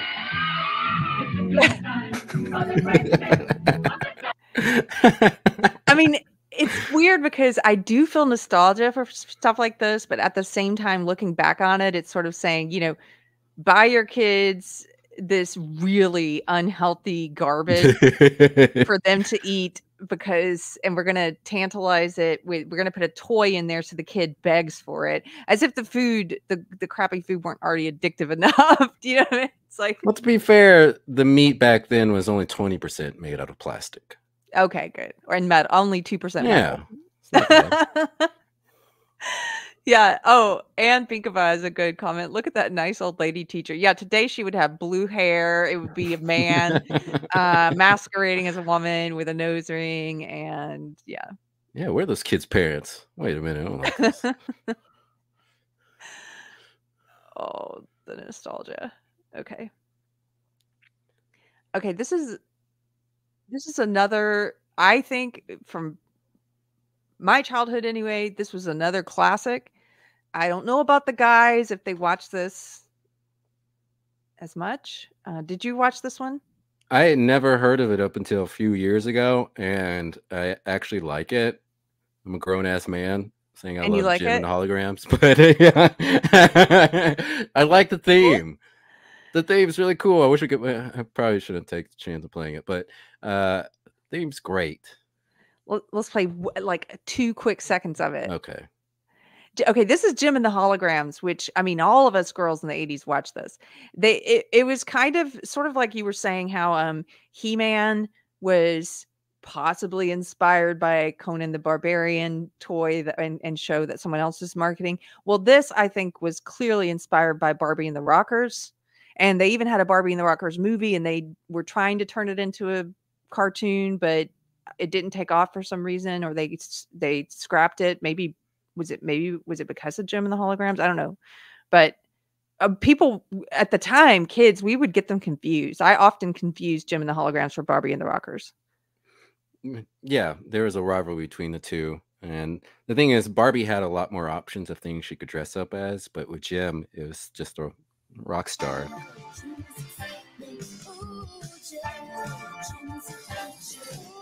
That's all I'm gonna risk. glitter, fashion, and fame. You sing it. Jem is amazing. You know it. You're I don't watching. care. You're watching this right now, aren't you? Love it. it's a good intro. Yeah, it Davina. is. It's so great. Yeah, those misfits, those bitches. There you go, says 80s man. That's what he wanted. He wanted you to sing. See, they're they're they're communists. They're trying to stop her stop her capitalist endeavors. So the the show, like the premise of the show, is really weird because it's a woman who's in charge of a music company, but she has an alter ego named Jem, in which she creates by having a hologram that's projected over her, and there are rival bands that are trying to upstage her constantly, and that's the plot of the show. It's so weird, even though I like it. It's like what? What what is it that you enjoy about it? I Like- I I like the nostalgia because even though I don't remember this show, and it was still a little bit before my time, it still kind of makes me feel nostalgic, especially Mhm. the intro. There's something about the intros of that He-Man, Transformers, um, the uh, Zelda cartoon that was on Mario in, in the 80s. Oh, There's yeah. something about those intros. I don't know how to describe them, but they, they there's something about that just makes you feel very nostalgic. Like it- Yes. it, it just kind of brings you back to to the 80s. It was just a feel I don't know a feel good yeah. time. You, you're not a you might you're about to get marketed to for sure. They're about to try to sell you stuff, but they're not about to sell you an evil ideology. yeah, meant to sell dolls. That's what they're selling. yeah. And Jem did a lot. Jem was very popular. Uh, Alan Scott says, "I barely remember this show, but Mystery Chris is evidently an expert." Yeah, I don't know how that happened. yeah, there were tons of uh, commercials for the products of Jem. Also says uh, '80s man. Yeah. Okay. This next one, people have been asking for. Thunder, thunder, thunder. Now, y- yeah, you're gonna have to sing it. Our video is gonna get taken down again. It- on the move. I'm not playing the music. Thunder, for this. Thundercats. Here we go. Thundercats. So this, so this is kind of like He-Man, but with cat people. Which when I was a kid, I used to think his name was Lionel, not Lion-O. I like Lionel better. So, guilty admission. So you watched this one? And reruns of it, yeah. I know what it is, and I may have seen an episode here or there, but I didn't. We didn't really watch this one. We watched T Man. We watched Transformers and GI Joe and Jem, but not this. Yeah, well, like I said, it's similar to to He Man. You know, they're fleeing uh, the destruction of their planet, and the main character has a magical sword uh, that gives him power, and the bad guys want the sword, and so it's. But I, I don't know. I, I, Thundercats, despite not really having very many cartoons or movies produced lately, it almost seems like it might be maybe more popular Transformers. I don't know because uh, when I look a lot of videos online and I see more views and engagement for videos and articles having to do with Thundercats and Transformers. So it seems to me like there's still a large market of people who would still buy into like some well done tr- Thundercats movie if they were to make one, Yeah. which they've been trying to make one for years. You know, so they'll eventually make one, but It never occurred to me until you said it, and then watching it there without the music, just looking at the visuals, how much how similar it looks to He Man Mhm. with the sword and the cast of you know the good Well- guys and the cast of evil characters and the thing about a lot of these cartoons that came out in the mid 80s like the ones we just talked about all those ones those benefit greatly from the system and were huge popular and sold a lot of toys. But the thing is when toy companies realized how much money there was to be made they rushed to make a bunch of new cartoons that would sell toys. And many times they developed the toy lines at the same time as the cartoons. And there ended up being a glut of cartoons. There was way too many in the late 80s, and none of them could really rise above, very few, I should say, could rise above uh, one another. And that's part of, of the reason why things started to decline because when you had all this malinvestment, there was essentially a boom and then a bust. Uh, when a lot of these toy companies couldn't recoup uh, their investment because they, they invested wrongly, like BraveStarr, which. I we can we don't have to play a clip from BraveStarr, but uh, that was one. Uh, it was a cowboy um, in space, Native American cowboy uh, on a planet called New Texas, and he had powers where he could conjure spirits and he'd fight bad guys and stuff. And the toy company that made them were expecting this to be huge. They had a huge toy line and they had the cartoons. They made 65 episodes because that's typically how much you need for syndication. And so they put all that up front, thinking it was going to be a huge hit, and it, it wasn't. It was a huge bust, and they lost money. And it's just a forgotten about 80s cartoon. Yeah. I didn't even know about that one. We've got a couple people pointing this out, Mr. Chris, in the chat. So I just wanted to acknowledge it that yes, a lot of these technically that we're covering now were during they were during the heyday of animation for kids, but they were after school cartoons. A lot of these. Yeah, Like, correct. Yeah. We're, we're we're talking about afternoon stuff too. So I had to rope that in. And a lot of these shows, even though they premiered on weekday afternoons, they would start showing them on uh, weekends. So the real Ghostbusters, which we'll talk about in a moment, um, that was the case with them. They started showing it syndication, got popular, and then started showing on a I think ABC, at least in the market I was in as a kid, or Saturday mornings. What about the 60s? said Scott. Hey, Scott, we did cover very briefly because we had a lot to cover tonight. We did cover very briefly the 50s and 60s. We showed some highlights from those two decades at the beginning. So that was before we got taken off the air for showing too, too much awesome 80s. Have too much fun. and now we're back. Okay. This next one is I don't know what this says about my age and what because I watched He-Man Jem, all those I did not watch Thundercats, but I did watch this one all the time. We loved this one. Teenage Mutant Ninja Turtles. Yeah, I loved it. That's why I had a bunch of pet turtles as a kid. But uh, Teenage Mutant Ninja Turtles started off as a joke. Uh, it started off as a comic book. The two comic book creators were playing around and they were making fun of Daredevil and uh, the X Men. So they created, you know, some mutant turtles that had these blindfolds essentially, like Daredevil. And they liked it and were like, hey, let's actually make a comic into this. And so they made a comic into it. And uh, that was very popular. And then um, so a licensing agent uh, found it, approached them, and uh, hooked them up with, I think Playmates made the toys for uh, Ninja Turtles.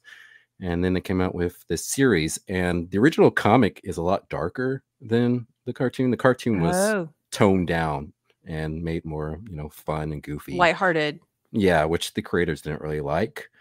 And the first Ninja Turtles movie, the one from 1990, that's probably closer to the comic book than this cartoon was because there's actually is a comic book. I have this comic uh, where they took a great deal of that story from the first Ninja Turtles movie. And then they the second one, which I still love Ninja Turtles Part Two, but they toned that one down and made the goofy. Like there's there's a kind of a pattern you see with a lot of things. The same thing with Ghostbusters.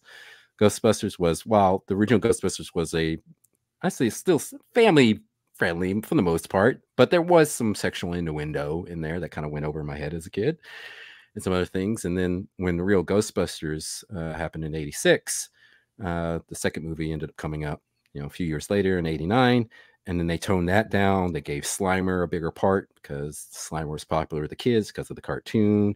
And again, I love Ghostbusters too, but they they toned it down a little bit, made it a little bit more childlike. I just wanted to point out that um, you see on the the screen here, they have a couple of bad guys who are black, um, and that's no longer allowed, even though he's one of many, right? But But Fairy doesn't look that black. He's got a mohawk. Huh, mohawk. I guess that's kind of like uh, Mr. T. Maybe. what about this guy? T. Oh, he's from uh, Fat Albert. Yeah, look at this. Fat Albert in the gang. Yeah, another bad guy. but, Oh, that's a faux pot. That's a fox fox. a fox fox today. got some ooze on his teeth. That's why. The white they bad guys getting- are fine, but you know, They're getting uglier and uglier. okay. But good What old else? Ninja Turtles. Ninja Turtles had a huge toy line. I always joke that uh, every character in Ninja Turtles, including like a background character, like a janitor, had a toy. Because that's what it felt Yes. like. Like every single character had a toy. It was crazy. And they were doing uh, probably gangbusters on the arcade games as well. I mean, Mhm. that was Yeah. one of th- there was there was one sort of popular burger joint in my tiny town. It was um, not a chain. It was a. It's still there. It's a 1950s style burger joint, and they had a our the the Tin Ninja Turtles arcade game in the back, and we would just go there as kids and just quarter after quarter into that game. You know. That was hard. It was a hard game. Still angers me that I couldn't beat that game. We've got another news report here. This is about the popularity of the Ninja Turtles. This is from 1990. And I'm going to get up just for one second because I I have to let Tiger out into the other room. the turtles and ran into superheroes. The mutant teenage turtles use martial arts to fight the bad guys. We don't know why they're teenagers. If it looks foolish, to recognize a $350 million a year Look at this industry slick man. it. But Alan Cox does. Eric Johansson is rushing down the aisle at Target because he's learned an important lesson. You got to get to the store as soon as it opens to get a shot at the turtle of your dreams, Damn or right one you of the had to. nearly dozen bad guys, and a costume set. No, not that one. I guess this one sounds cool. And for high rollers, the sewer playset. Want sewer Oh, I had that. Donatello? Or do you want the vacuum? Or I just got the vacuum. it's entertainment and it seems relatively I'm harmless. kid. They don't provide turtle toys at child care centers like Children's World, but talk to the kids and you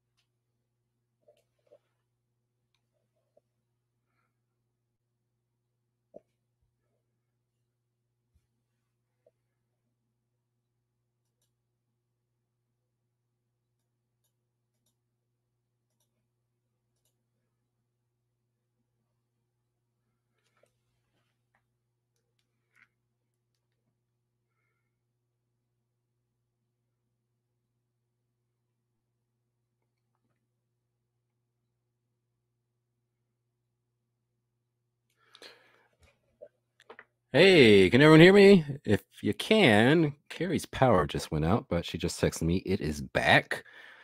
So she will be here in a moment. Uh, but I'm gonna look at the chat, see what y'all discussing. Oh, it's down on Rumble too, you said, Kevin? Hmm. Yeah, must be, I guess, on her end. Hey, you can hear me. Yay. I was so scared. I thought I was alone. Uh, yes. Let's see. What are y'all talking about? I wish I could see that poll. I did- I don't know if Keri put that poll back up. My vote is for the 90s. Uh, like I said, with Batman the Animated Series, best cartoon ever. But I think with the 90s, I think they kind of softened things up a little bit, which not necessarily always good, but I, I think maybe because they had to move away from a lot of the action for, for the cartoons in the 80s. Oh, hey, there you are. Hey, You're back. Sorry, out of power out. Tonight's the night of issues. I know. Deeper Everybody's Therese. everyone's trying to ruin our fun. Uh, thank you guys for sticking around. I'm sorry about that. My power went out and came back. Uh, we're here. We were I in the middle remember of. Gargoyles. Tweeter. Yeah, Gargoyles is a good show. Sorry, that's a 90s one. Sorry. I don't remember that one. Yeah. Did you? Were you about halfway through this? Um, it stopped playing. I forget where. Where it was after the kid? Yeah, I think around around up there. I think. Spring in a new $15 million movie. An impressive achievement for comic book characters who started in black and white with doses of bloodletting and profanity for an adolescent audience. Marketers saw the potential, toned the turtles down for a younger crowd, so they sell cookies and cereal, draw kids into Burger King. It worries some parents. There's a lot of violence, which doesn't seem to connect very often. Those glasses. like car windshields. I love them. I w- bring them back. I love- Really? yes. You look like an old librarian. Okay. I love them. and with much of a plot. There's a good deal of sexism. The lead female Oh, character um, often gets into Come on. This is the precursor to woke. Did you hear what she said? And, and that's why uh April is this fat lesbian in the new, in the new Ninja one. Turtles movie. Yes. Oh, a good deal of sexism. Why? Because she's attractive? really? the trouble and has to be rescued, although that may be because she's a TV reporter. Another criticism is that the cartoon show can be seen as one big advertisement for the toys. Some members of Congress proposed outlawing that kind of children's TV. That wouldn't go over too well at the Sweetman household, where the toys sharpen debating skills. They live in Dimension X. Yeah, no. Yeah, but, yes, they go in Dimension X. but, um, no, they were taken from the city's zoo. And they teach a sense of humor. They say, like, really funny things. Yeah, Michelangelo says, Cowabunga, dude. We tried to get it fun by bringing a container of turtle ooze. I think I Kind had of that. disgusting, isn't it? I know, really disgusting. It's the same thing as the Obviously, some of us Ghostbuster are too- It was just pink. Yeah, they just changed the Ghostbusters color. too. Just to go back to that criticism again about April, it's you know, I take back what I said about this woman's glasses. These are, these are yeah, take that. these are the original woke glasses before they got like little square, chunky black ones. You know, uh, It allows her to see oppression, Keri. it allows her to see sexism that's not there. What? Because April's attractive and because he said because April gets into situations where she needs to be rescued. But yes, because she's not a superhero. They are. You know, like th- th- this is basically a complaint that none of the Ninja Turtles are female turtles. That's, I mean, that's essentially what this is. None of the Which is- are girls. Which is why they created a female turtle in the mid 90s. They had a live action series that lasted Mhm. like five episodes. And they had a female turtle that had uh, boobs on her shell, or Oh, at least like gosh. these curved parts of her shell that look like boobs. Turtles like, don't have why?" boobs.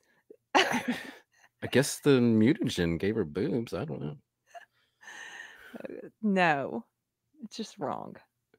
But the, the thing I loved about playing Ninja Turtles with my friends as a kid is that they couldn't make me be the black one, like Ghostbusters. Because like every time I play Ghostbusters, I'd be like, "Hey guys, I'm Egon." They're like, "Yeah, yeah, that's nice, Winston. Go get our proton packs from the car." Like, all right. Why didn't you want to be Winston? Because Egon was the smart one. Like I, Yeah. I, I didn't hate nerds as a kid. I wanted to be the Yeah. smart guy. And Yeah, so, but although you, you know my theory on the black Ninja Turtle, I mean there is a black Ninja Turtle. We all know. Michelangelo, No, no. Raphael. Yes, Oh, okay. he's very angry. He's he's cursing a lot. Definitely black. Which was your favorite turtle? Uh, Leonardo, Leonardo. he's the leader, and he had swords. Yeah. Because the other weapons are kind of lame. Who wants a bow? I don't want a bow. I want to Yeah. cut things. Uh, Davina says Egon was obviously the best. Yeah, I think Leonardo was obvious, obviously the best also. Okay. And segue into Ghostbusters. Segue into Ghostbusters. You always had to be Winston. So the, there's a f- couple of funny things about Ghostbusters. So uh, there was a show in the 70s called Ghostbusters. It was a live action show about uh, a detective and a monkey, a giant talking ape, which was a guy in a suit because it was a live action show. And they would solve um, paranormal mysteries. It was basically a ripoff of Scooby Doo.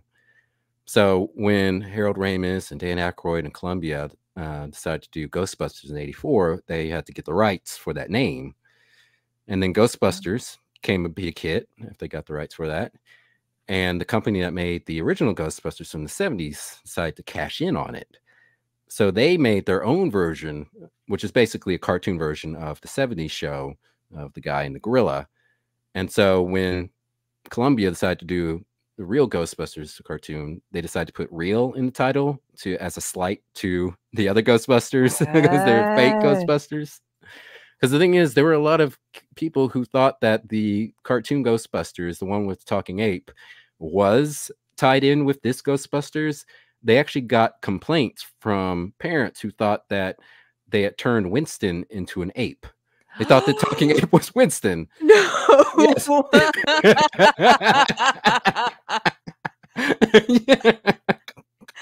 I think that says more about them than anything else. But yeah, so that was funny. Um, and also speaking of Winston, apparently uh, Ernie Hudson, who plays Winston in the movie, of course, he auditioned to be the voice of Winston. He was the only actor from the movie to audition for his character, that character in the show. He lost out to Arsenio Hall, who does the voice of Winston in the cartoon.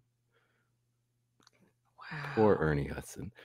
He This loves is- being a Ghostbuster. He does. I think this man carries a Ghostbuster uniform in his trunk everywhere I go. I'm not even joking. I seriously think he does because I've seen him at so many conventions, even conventions that have nothing to do with Ghostbusters. Like I've been to Star Trek conventions. He's like there in this Ghostbuster suit. Like he wears it. I don't think they even tell him, like, hey, could you wear this? He's like, nope, I already got it. no need. I got my own. This is the show you're talking about called Ghostbusters. Yeah.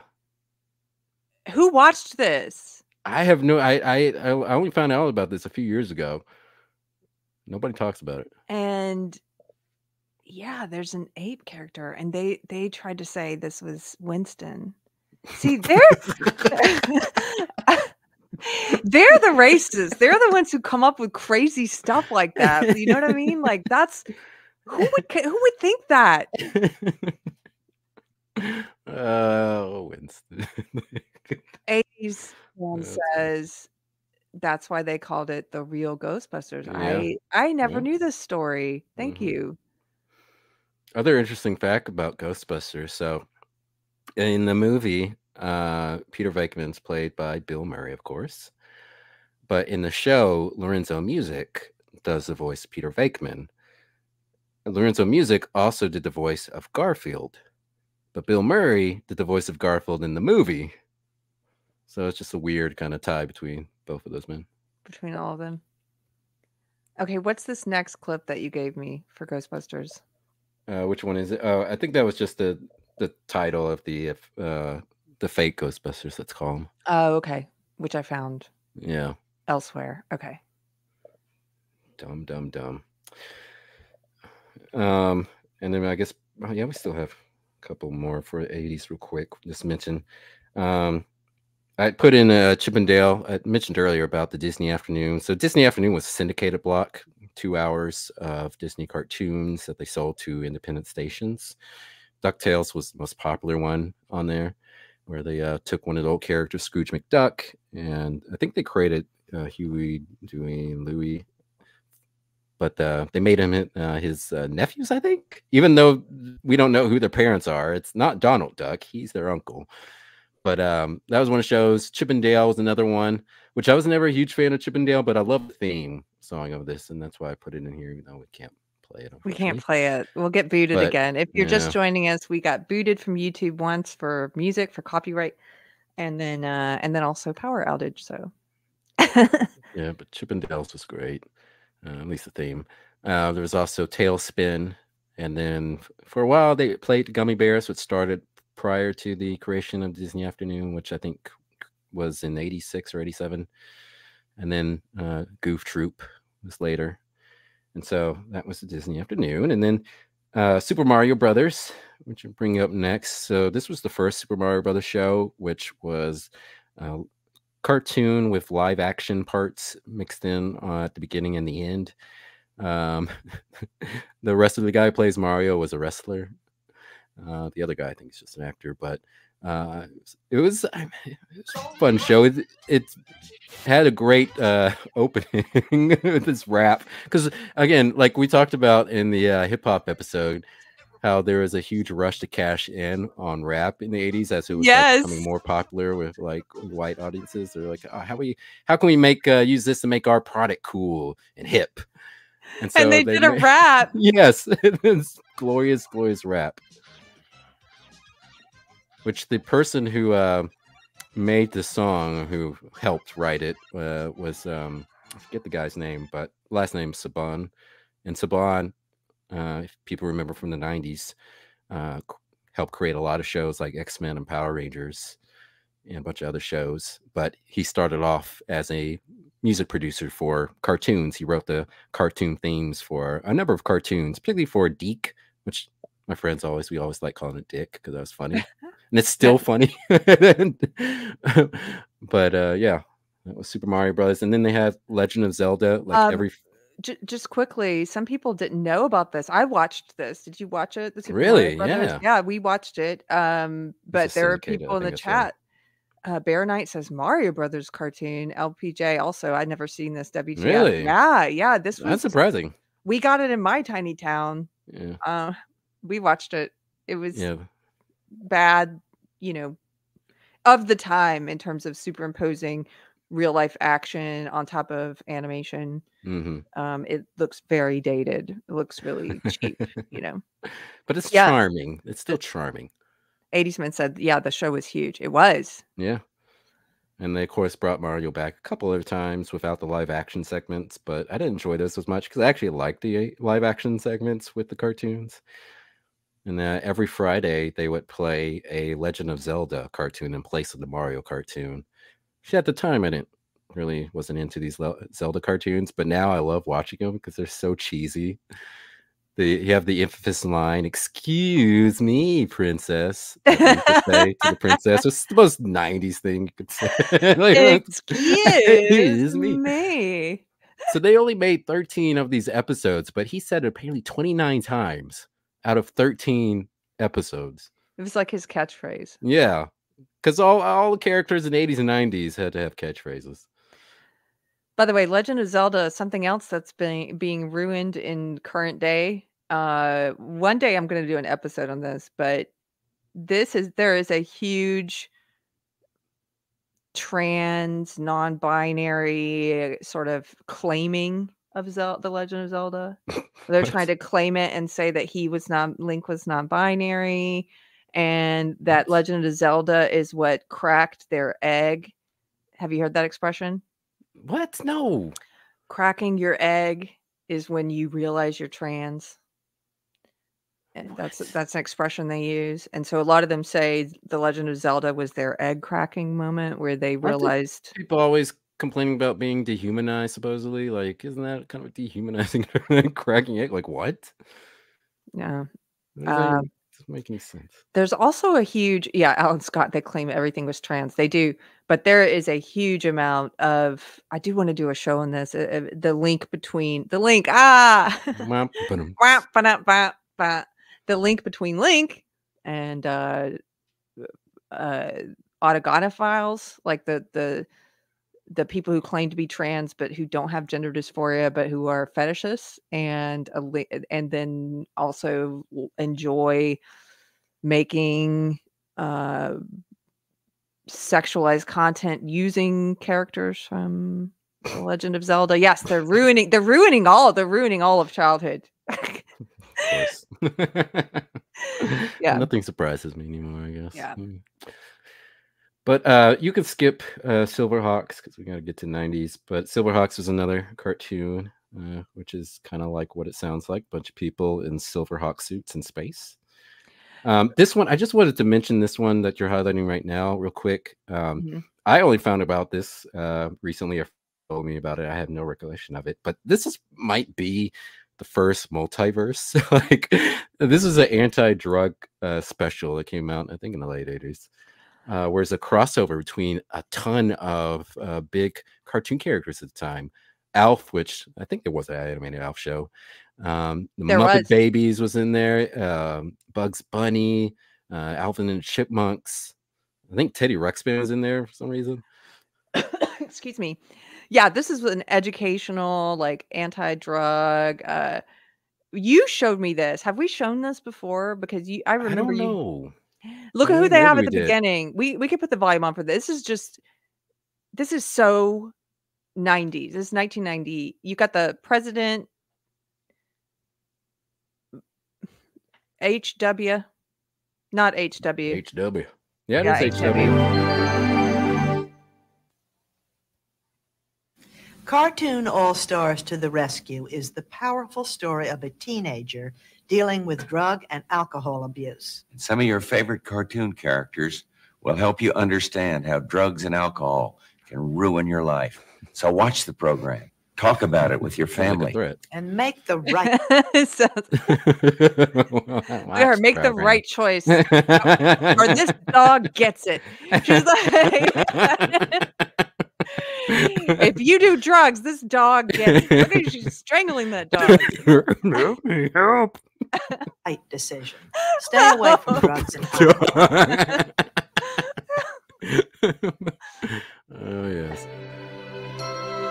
Alright, Mute that.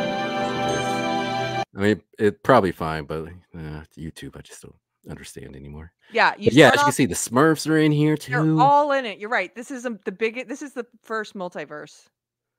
I we did if we if if we didn't Eh, tell us if you've been here if you're a longtime viewer of our our fun pop culture episodes. Have we shown parts of this before? Because if not, that means you and I just watched it off camera. Because I've seen this. I've seen this with you. you got the Smurfs. You got Alf. Hold on. Here's Alf. Garfield. Garfield. the chipmunks, Alvin and the chipmunks, Winnie the Pooh's there. Winnie the the whole Pooh. gang's here. Don't do drugs, kids. You got uh, I think the ghost Slimer. Was that Slimer? Yeah. Slimer. I love stuff like this, though. It's even though you know they got a message: don't do drugs. It's, it's they bring in all the characters. Yeah. And I remember, I think it was drug. It was over like smoking. I don't think it was like even like pot The, or Mupp- anything. I think the like, Muppet just Babies. cigarettes. Yeah.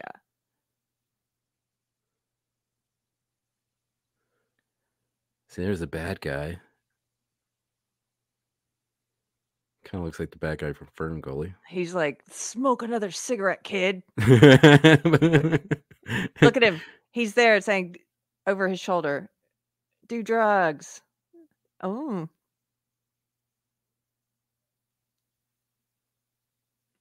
And Bugs Bunny's like, don't do it.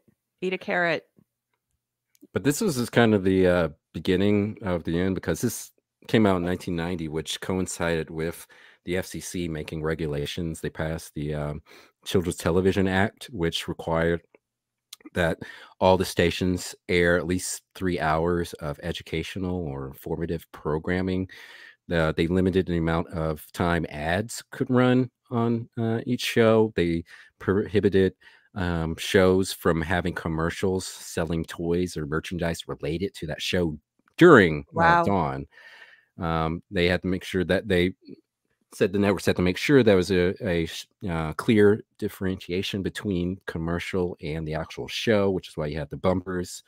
And uh, this basically was beginning of the decline of, of Saturday morning cartoons because it just wasn't profitable for a lot of these companies. In addition to having the Fox, uh, 20th Century Fox, uh, buy up a bunch of local independent stations and rebrand on Fox. That's where the Fox Network came out. And then you had, of course, in the mid 90s, where Paramount did the same with UPN. and then Warner Brothers with the WB. And so a lot of these independent stations, which have been working with various companies to make toys um, or shows that would sell these toys, uh, were no longer existed. And everything had to go through the network, and there was only limited amount of uh, spaces for various types of programming. And so that, in addition, with the rise of technology, with uh, VHS, DVD, with the internet, with cable, uh, cable wasn't subject to the same regulations as broadcast, and so Cartoon Network and Nickelodeon, which we'll, we'll talk about Nickelodeon on another episode. Can't wait to talk about that. But uh, those shows would, would show cartoons all day long. Um, they obviously took away a lot of the audience from Saturday morning, and was. But there's still it went out with a bang. Still, I would say, at least in the mid '90s, early mid '90s, there were still some excellent cartoons despite the slow, gradual decline. I just wanted to, for a second, bring us back to modern day because of who's on screen right now. Do you see that character? David Hogg. That's not him, no. That's the wrong messaging. He would be in the like, take your guns away, kids. kids go get your parents' guns, throw them in the lake. That's what he would be doing. Gonzo, your nose looks Uh, too much like a gun. You're gonna have to cut it off. Oh my gosh, we have Okay. we have the funniest chat. By the way, look at this Tigger warning. Ah. I never liked his name. It's too close to. Thanks to Vina. And then also there were many people pointing out, uh, like Anne, think of a poor kid just needs to get off drugs, and then he sees the Smurfs and thinks he's tripping. Yeah, uh, man, that's some trip. Talking ducks, yeah, must be high as a kite. People say. Um, no, I. That's Gonzo. So the Muppet Babies, which we haven't really touched on, the Muppet Babies was also big during this time, and uh, that's Gonzo. And we keep talking about kind of bringing it back to current day stuff that they've done to ruin childhood. They have made uh, Gonzo from the Muppet Babies trans or non-binary. Did you know this? I think we talked. Well, I mean, his nose does look kind of like a penis. So Stop. But look at this CNN. Non binary characters like Gonzarella are lighting up children's TV and encouraging self acceptance. Is that what they're doing? Are they encouraging self acceptance or are they pushing children into a dangerous trend of not knowing what reality is?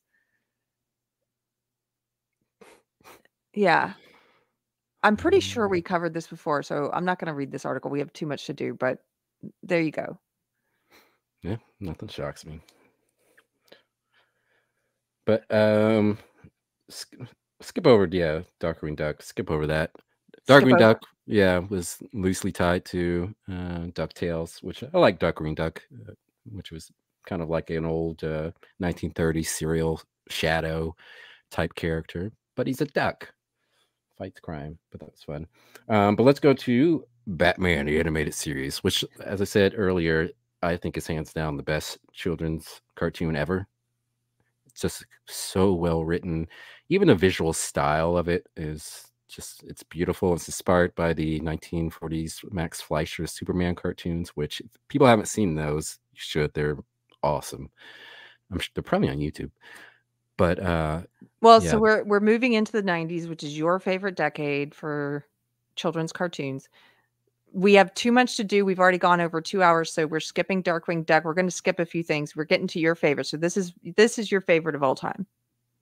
Yes. This is our yeah, that's him. Yeah, favorite. I've seen favorite. Yeah. Uh, because this cartoon is just uh awesome, brilliantly written. Uh there was a lot of strength in uh with them because they could have easily made this more goofier, could have made it more like the movie, but they actually uh, deviated a bit with the design, the look of the characters, the vehicles, um, the storytelling was excellent. The music was t- uh, excellent. Shirley Walker did the music, which they made some albums a few years ago, releasing of all the music they they had on this um, show, and I have it. It's great. But yeah, just an excellent, excellent show. Holds up. Everyone, everyone I know still watches this show. I think it's on HBO Max. I only I put that guitar version in it because I I knew that Warner Brothers would be um, a stickler for playing Uh. music to their shows, and so I just put a awesome guitar version. You know, if you want to, if you want to play a little bit or not. It's your favorite show. Let's do it. All right, let's do it. We'll So- play just a little bit. This is a great trend on on YouTube of a lot of people, musicians who make covers to uh, various songs or you know intros to TV shows. And this guy didn't an awesome, awesome intro for Batman animated series, just guitar version of it. I have to show this to Anthony. Maybe we could do a Jem version. yeah, I bet that exists. Jem and the holograms. Yeah.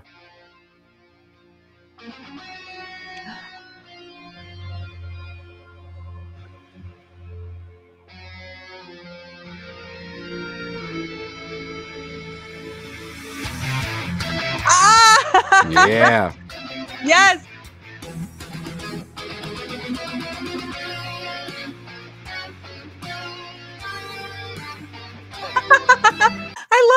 Yeah. It's Great. awesome.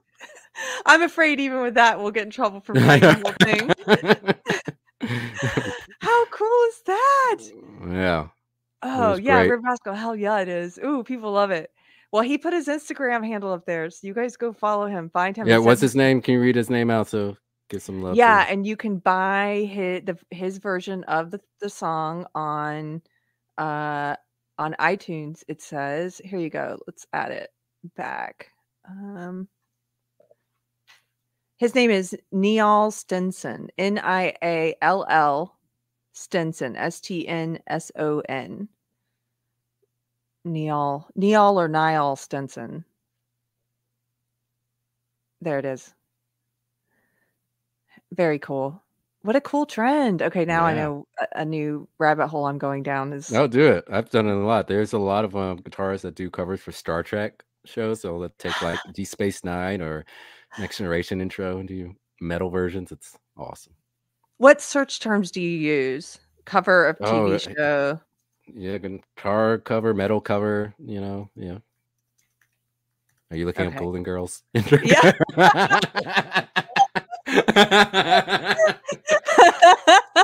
How did you know? uh will oh I found a metal version of the Golden Girls theme song. I'm not listening. We don't have any time to spare. But I've got got that yeah. queued up for later. Okay. Mhm. All right. okay, what else from that was list? Batman. Uh, let's go to X-Men? X Men. That's in the news recently because of uh, X Men '97, which is uh, it's okay so far. Some people love it. I'm like, uh, I would have preferred if they continued prior to the X Men, which was the pilot episode of X Men series that came out in the '80s. It was cheesy, but I still think the '90s version was better than what we would have gotten with the '80s one. But I would have liked to have seen that because there's been five seasons of this one, which I love. Don't get me wrong, I love this show to death, but I just kind of want to see something different.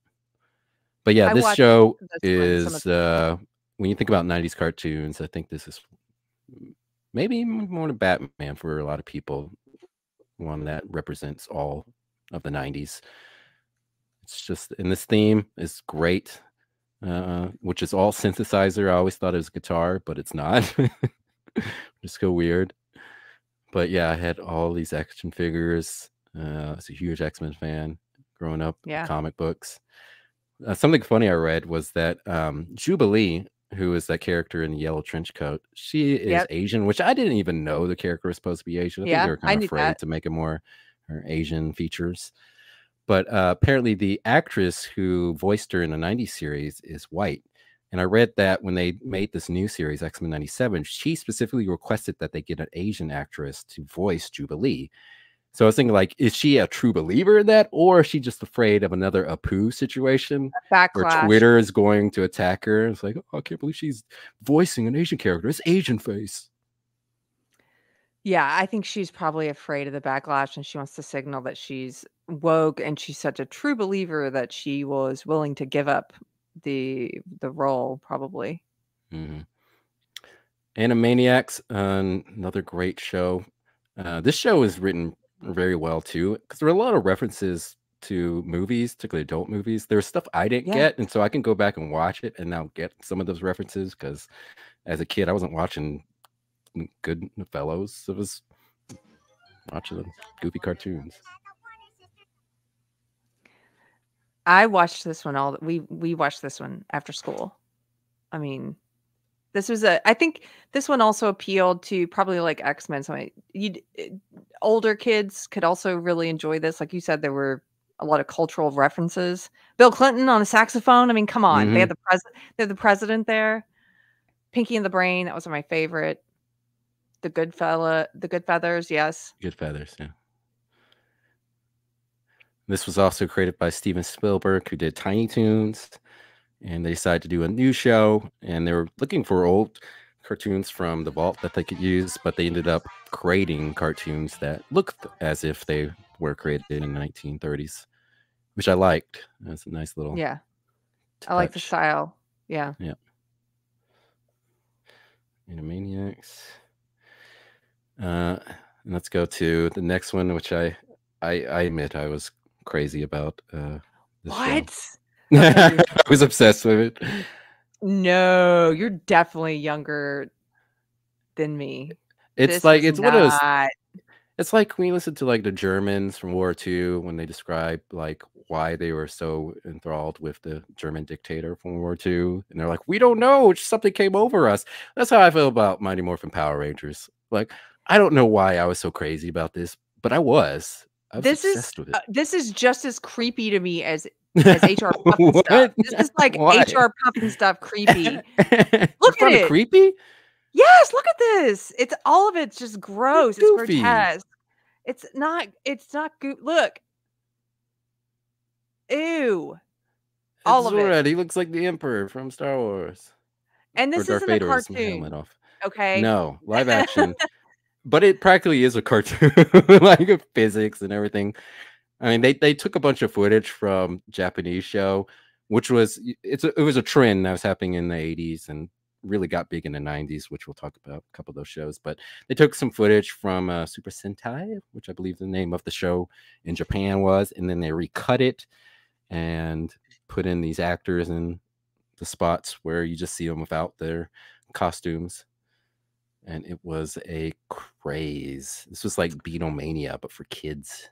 Oh, okay. I'm just looking at the years that this ran. This is why, okay, this is where our age difference definitely comes into play, I think, and also our taste difference.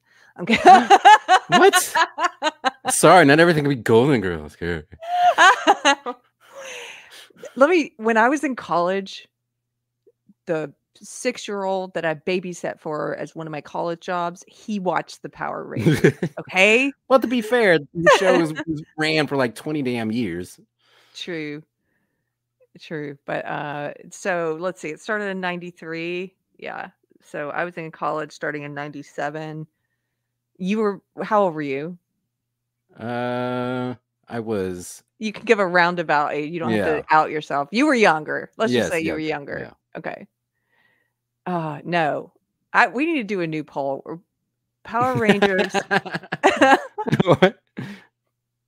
I'm you just kind of dropped a little in my respect. I'm, Oh, I'm come totally on, kidding. No, come on now. I'm totally kidding. I I really I just I, I don't I don't get it at all. I guess you had to be there. I guess I guess it had to be the right time, the right it was age. ninjas fighting giant monsters. Like that's cool. It had giant robots in it. Like I like all those elements. Yeah, it's goofy the way they put it all together, but those elements by themselves are awesome. So weird. Okay. You gave me a lot of links to Power Rangers. I mean, you watched a Do you want to show any of these? Uh, you show one of those news reports. Uh, do you want to do one on the violence? Yeah, let's do the one on the violence. Was this a thing? People they were worried about the violence in it? Yeah, there were a lot of parents groups that were upset because it's very violent. Which I remember I had a friend who, after watching a show, like tried to kick me, and I just like slammed him on the ground. Like, what? Are you? Like a Power Ranger? You were He's like acting out Power Rangers. Like, boo, what are you doing? I think maybe I just because I saw it as like a kids thing. Yeah. Okay. Look at this mom and her son. So I lost an hour of work just to come here and wait till 9:30 just to pick up the Saba sword that they wanted. You got it? Millions of kids watch the television show and get their parents to buy the toys. But critics point to the violence and they say this is a bad message for children, no matter how the producers try to package it. If you're in the right, it's okay to use weapons. It's okay to use force. It's okay to hurt, to maim, to kill. And that's a pretty sad message to be giving children. At the end of every show, there's a public service announcement that says to kids, all right, this is real and this is not. The kids may or may not hear those messages, but they are watching and they are buying. Stores are expected to sell a record $1 billion worth of Power Rangers. Wow. Yeah. This was huge. This is just after my time. That's all. Yeah. Uh, Well, you can you know what it I- Nothing. What I remember around this time, because this is when I when I was in college and getting in heavily into woke stuff. Uh, tell me if I get if I got this right. As someone who never watched it, we were criticizing it though, and I remember we were talking about how um did they the Black Power Ranger was he a black guy? Yeah, he was black and he danced when he fought. Okay, and the Yellow Power Ranger wasn't she Asian? Yep. Okay, and the Pink Power Ranger was a girl. hmm Okay, The so gay one they- was blue. Yep. the game was blue. Okay, but that was one of the criticisms was like, why do you have to make the black Power Ranger black? Why do you have to make the yellow Power Ranger Asian?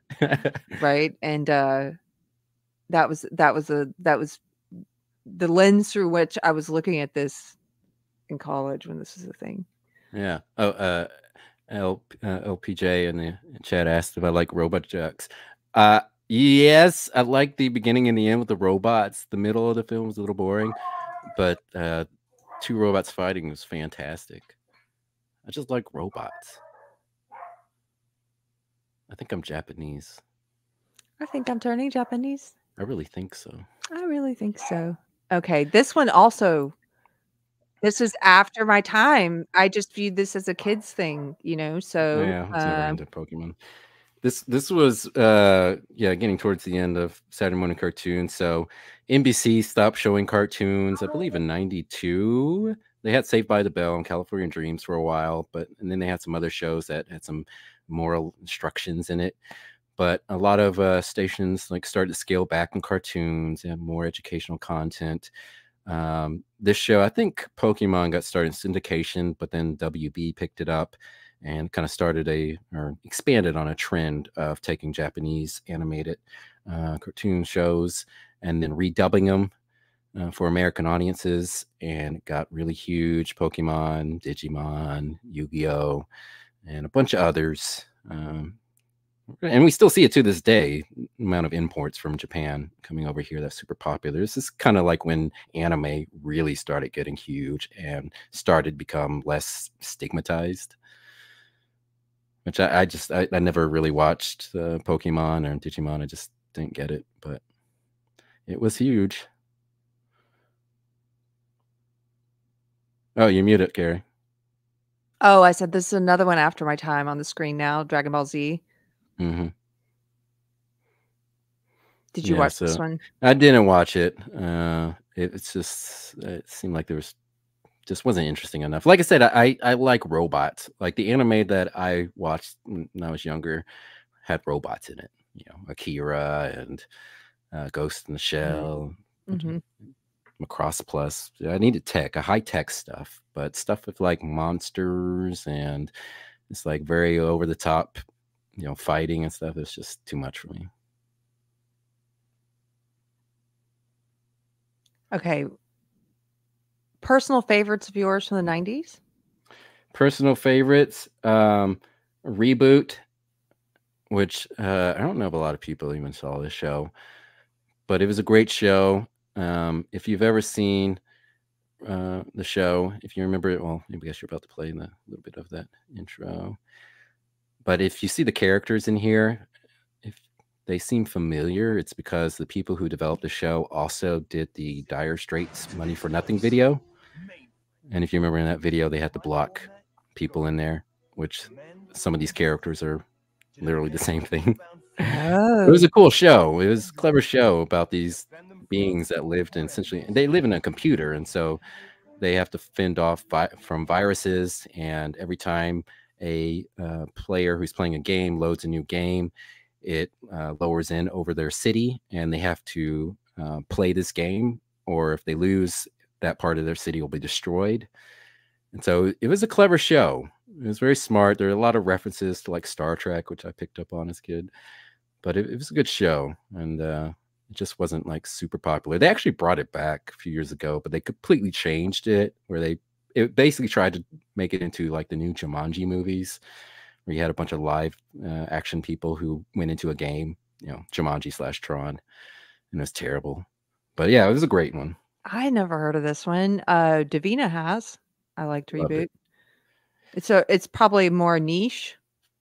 A little bit, yeah. It, it- ran for a couple seasons, and they brought it back on Toonami, which was Cartoon Network's cartoon afternoon block in the late '90s, I think, for a third season. It was great. This one, ah, I I really want to play some of the the music because you have to get some of the effect, but be careful. I mean, just Let's so this is from Iron Man. So I've been a huge Iron Man fan ever since I was a kid. This is way before the Tony, uh, the uh, Robert Downey Jr. movies. I didn't know about this one. Yeah, I love this. I've I'm playing it very lightly in the background and we're talking over it, so maybe that'll help. Do you think? Yeah, look how manly that is. So why did you Look, why did you like this one? Because I love high tech stuff. I love Suits. I love Tony Stark, and I love this intro. This is second season intro, and they put in the guitar, the '90s guitar, and it's the most manly thing you'll ever hear. Like if if you listen to this and and you know you don't get pregnant, then I don't know what to say. Stop. So again, positive masculinity, or at least not being afraid to show masculinity. Yeah, yeah, and, he made things. He was smart. I always He loved it. strong, Yeah, smart. He wasn't funny though. That's a weird thing because a lot of people who are like new to Iron Man and Tony Stark, they think because of Robert Downey Jr.'s portrayal that Tony Stark was like a wisecracking guy. He's like, no, he's not. He's an alcoholic. He's very serious. But uh, I always thought that was something that differentiated him from um, Bruce Wayne. Uh, this is Big Guy and Rusty. Uh, just have to play a little bit. This uh, it's clearly inspired by Astro Boy, the Japanese cartoon, but I loved it much better than the comic. I recently read the comic. I'd never read the comic. uh, It was written by Frank Miller, who wrote Dark Knight Returns. Uh, comic's not so good, but this cartoon was great. Not a lot of people watched it. not a lot of. I, I'm noticing some of your favorites are not very Yeah. well known. I didn't. Uh, another one I don't know about. But yeah, see robots. See, you see a pattern, robots. Yeah. but yeah, weird premise, but it was just well done. And these episodes are on YouTube. You can find them. You can watch this one on YouTube. Yeah. Anyway, you don't have to show any more of that. We can move on to Big guy and mm. Rusty the boy robot. That's what it's called. yeah. Yeah, the animation was great. Yeah. I think it was animated by the same people who did Men in Black animated show, which was good too. They were on the WB. I think Big Guy and Rusty was on Fox WB. As the 90s went on in the early 2000s, a lot of these channels, since the broadcast channels were being bought up by people who owned cable channels, a lot of times they were taking uh, shows that were on cable and putting them on broadcast on Saturday morning. So uh, Disney, when they bought ABC, they started taking stuff from Disney XD, putting that on uh, ABC. Um, I think it was CBS was who, who was it Viacom I believe bought CBS, and so they start taking stuff from Nickelodeon, putting on there. I think it was was it NBC that that had a partnership with Discovery. They start taking stuff from Discovery Kids, so a lot of educational live action stuff. When they take some of these Disney shows, you know, in the case of ABC, like Lizzie McGuire and other ones, they would take stuff that was uh, episodes that were more morally instructive to kind of satisfy the um Oh no, those requirements. Did we get You- popped again? get popped again. For what? Not Did not on? Rumble. Hey, we're still going on Rumble. This is a good advertisement for Rumble. Oh, was it the Uh, Iron Man one? Probably. Dang it. Uh, man, it was that music. They still caught it. They uh, Uh, I'm putting the Rumble link in the YouTube chat. So if you can't see us on YouTube, um, or if you if we're coming back, Kevin says that's why I'm watching on Rumble. RIP stream policy violation. I man, look, Oh, this should be fair use. We're not like showing you whole episodes or Yes. anything. We're just showing tiny clips. YouTube, This is educational.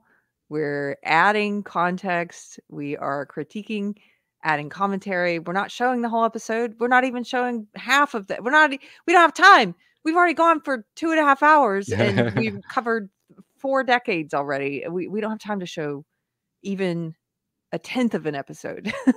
No. um. Okay. Well, we might come back on YouTube. I'm not sure. We're we keep uh losing viewers, which is probably uh because we're not back yet. So we'll just continue on Rumble. This is fine. All right. Um speaking of, I've got out of the stuff that's left, we are at two and a half hours. What's most important to hit? Uh, you don't have to show stuff, but I, I put some stuff from 2000s, um, where, in my opinion, quality of shows just kind of went down. It wasn't a lot, but uh, Jackie Chan Adventures, which is a weird concept for a show, but a show that starred Jackie Chan as he solves uh, supernatural stuff and does, you know, martial arts. Um, yet Static Shock, which was a black superhero, original black superhero. Imagine that. Uh, that was based on a comic, and they turned that into a cartoon. That was a very popular one. There's Jackie Chan. I'm just going to show while you're telling me about each of these. but I'm going to show little bits of them in the background. So that's the Jackie Chan one. We don't have to show all of them. Mhm. Uh, I interrupt. uh, Which one were you on? Uh, I was on Static Shock. Okay. So yeah, you had Static Shock, um, and then you had. Are you gonna? Are you pulling up the shot? Yeah, but you can just keep going. Yeah. So uh, this, uh, you know, I'm not a fan. I didn't really watch the show, but it'd be nice if they like did this instead of you know taking white superheroes and turning them black, making stuff. So I'm I'm all This for it. You want to make original original. black characters? You know, I'm all for that. It is. Keep it's on doing original black characters. Yeah, I never heard of this, but it's better than it's better than just race swapping. Yeah, and he in this show dealt with a lot of um, social issues. He, you know, had moral instruction in it, so kind of counted.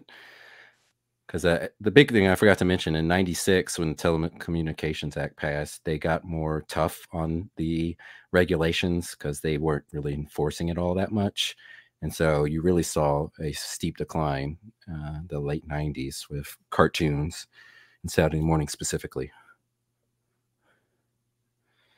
Uh, this is Digimon, Digital Monster, which was similar to Pokemon, but this was based on a toy. If you remember those, uh, what's it, Tamagotchis? I think they were. You had that little um, Oh yeah. toy thing you raise egg. Well, th- eh, there was toys, Digimon toys, which would do similar things where you raise a monster and you could use this monster to fight, you, be like your avatar. And so they developed the cartoon. Uh, this one got big, um, and so this was a very popular. I didn't, didn't, didn't really watch it. Again, no robots, so. Also, after a little after your time. mm. And this is Yu-Gi-Oh! And Yu-Gi-Oh! again, didn't really watch this, but this one had to do with a card game that it was based on a card game, and in the show, uh, he plays a card game, and it's uh, not quite my thing. But again, another popular one. Uh, Davina asked, "Did anyone watch the Boondocks cartoon?" I did. I think that was more for adults, wasn't it? Yeah, that was interesting and trend too with Cartoon Network. They started developing a lot of cartoons, uh, specifically targeted for adults, Adult Swim. Uh, they used some old cartoons characters like uh, Birdman. and They created Harvey Birdman, attorney law, um, and they did that with some other characters. But yeah, it was interesting kind of see that kind of shift that happened with one the rise of anime and the rise of cartoons for adults, specifically on Cartoon Network at the same time. It was kind of odd shift that occurred in the 2000s. Okay, what's coming up next? Funny. Uh, yeah, let's get to. Or do you want to present toys real quick, or do you want to go funny? I know we were running a little late, but Well, you this is this is the episode you've been very excited about for a long time. I'm also excited about it, but really like you you uh, tell me which toys did you want to talk about? uh, let's talk about the. Uh, oh, do you have my slides? I sent. I do. Oh, that's Mm-mm. right. Okay. okay, let's do this. Um, rem- do you remember how? There we go. Okay, that's how we do it. Okay. Um, is that? There we go. Toys. yeah, toys. Now I remember you had a Pee Wee Herman doll, didn't you? I did, but that's not in this. this Okay. show. I only put five toys or so. This should be no surprise. I mean, come on now. You had this?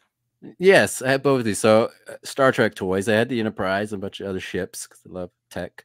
And I had the uh, the PlayStation or the uh, playset of the bridge, which only had one Star Trek action figure. So I'd end up using like X Men action figures. So I'd have like Cyclops as the captain, Wolverine, who's navigating the ship. Yes. Well, as a kid, use your imagination. I mean, we would mix the Barbies and the GI Joes, and you know. But but this this shows you just how popular Star Trek was at in the 90s when they made huge toy lines. When they made a bridge, like who thought a bridge playset would sell? But it did because kids still watched it, but now they don't want that, so they just make goofy cartoons, and kids still aren't watching Star Trek. So that's another story. Don't get me started. But anyway, yeah, that's Star Trek. You can go next. Okay. Uh, no surprise here. Uh, these toys were very hard to come by. I remember uh, I was at Target with my mom one time, and I think it was early in the morning, and I went to the toy section. Nobody was in the toy section. I saw two uh, packages of the Megazord. It was like finding the Holy Grail. Like I was like, holy crap! And so uh, I got that, and I was uh, very happy as a child to have do something still that most do you still have any of these? I still have most of these toys At your parents'? somewhere. Yeah, I should, I need to go through them see if any of them are worth anything. Yeah. Yeah, that's right. Uh, Ghostbusters, course. The Yeah. firehouse. Yeah, at the firehouse. I had the Oh! proton pack. Do you remember that? Yes, I think my brother had this. I think. Yeah. Yes.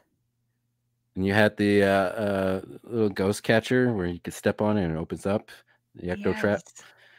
How cool. The Mm-hmm. one the on the left there, you know, your own uh yeah, the ghost catcher and all that. I mean, what a of course you have to have that kind of toy. Fantastic. And then Super Soakers. Of course, I don't know. Did you ever play Super Soakers, friends? Yeah, of course. Yeah. We used to have wars where we get water balloons we use as grenades, and we'd all have our our water guns, and we line up and just march towards each other. Such great times. Although I'm surprised in college I never used this for like beer or anything was smart. Oh Uh, and then not the mama. Like I loved him as a character as a kid, but now as an adult I find him very annoying. Even though I still love that show, Dinosaurs, underrated show, still hilarious. But I had this toy. You pull the string in his back, and he's like, "Not the mama." I'm sure my parents loved me. This thing going. But yeah, that was the that's my toys, the main highlights. Okay. I'm going to show you some of the ones that I had and maybe still have. Okay, this one I have this and still and this is somewhere in my house here, but I couldn't find it, but I know it's in a box somewhere. Charmkins. Do you know what this is? I have no idea what that is.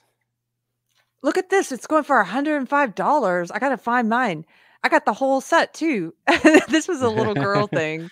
Clearly, it's this uh this is what they the Charmkins live in this uh windmill here.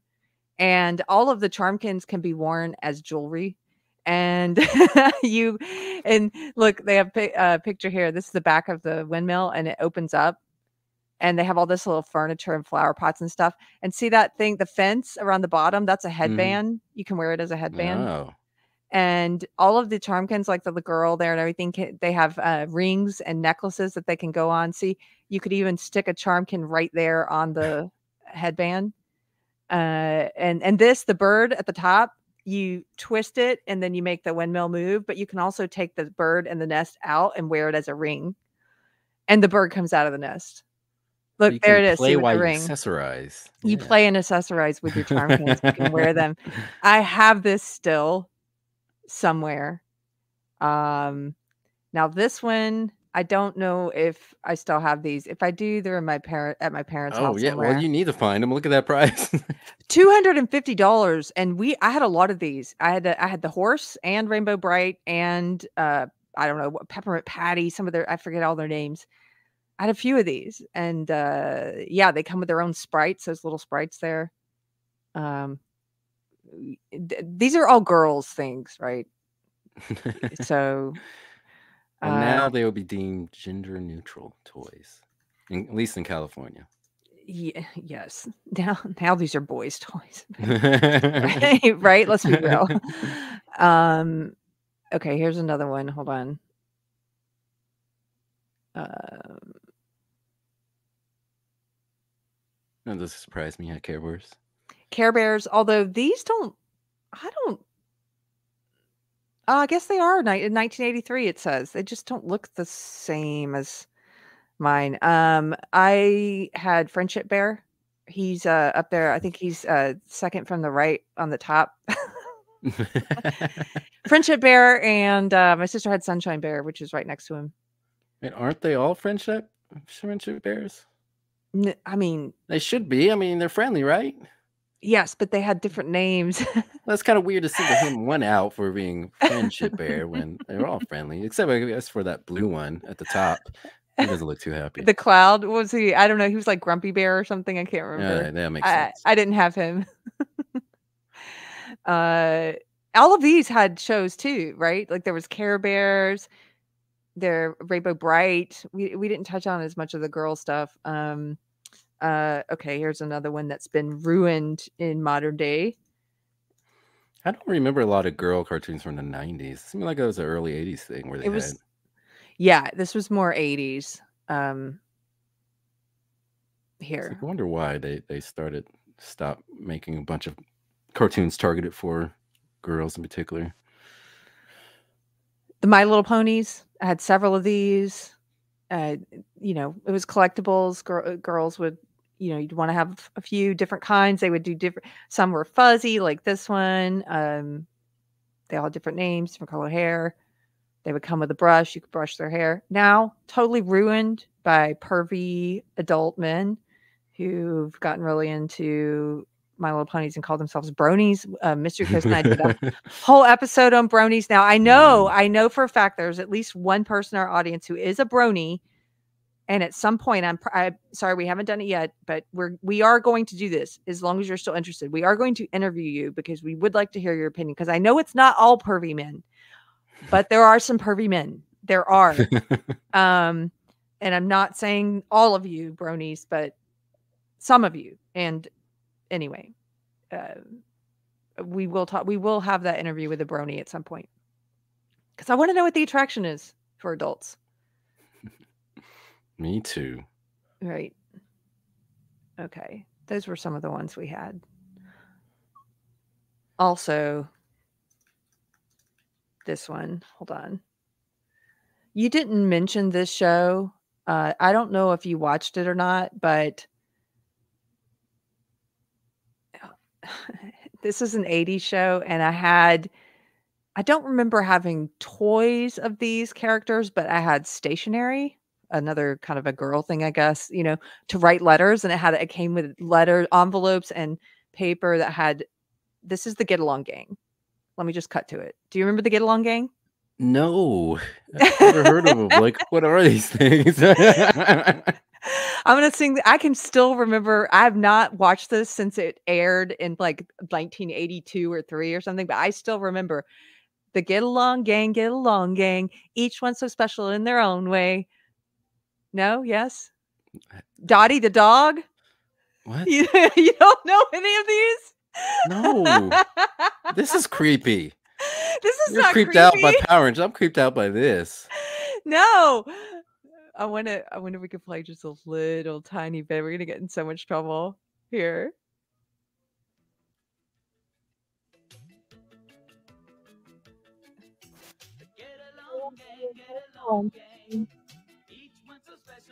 Oh, wait. Bieber's so happy. I don't know. I can't believe. Okay, yeah, this is this is before your time. Who else knows? Ugh. This is just a girl thing, I guess. I think Thank that you, Ryan. Ryan says it's definitely creepier than Power Rangers. no, it's not. Look, there's the bad guys, the communists. Yes. They're reptiles. The bad guys are reptiles, of course, right? This you got to go look this up now. yeah, yeah.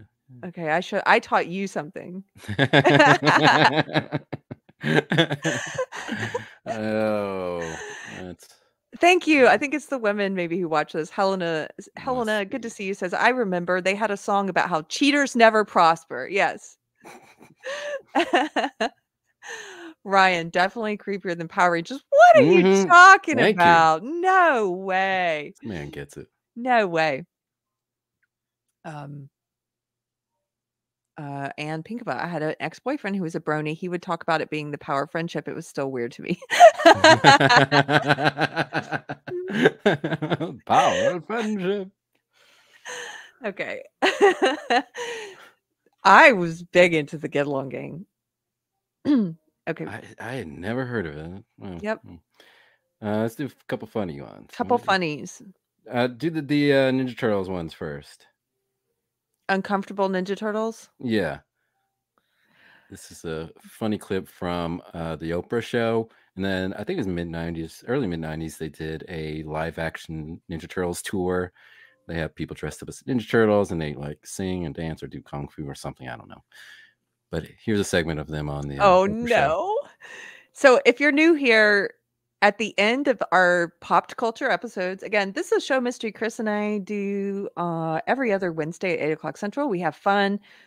It's a little bit of frivolity. We look at different issues in pop culture. Um, we go down a rabbit hole together and with you guys and have a bit of fun and talk about how it relates to culture. And um at the end of every show, we sometimes like to end with just some bits of funny that are somehow related to what we talked about tonight. So here we go.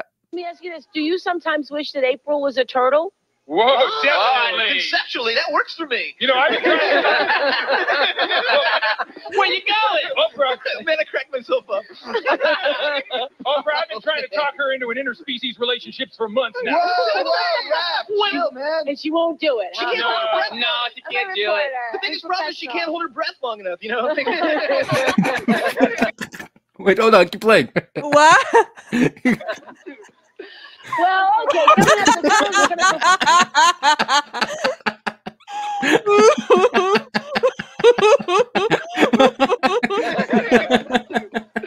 Well, okay. The their?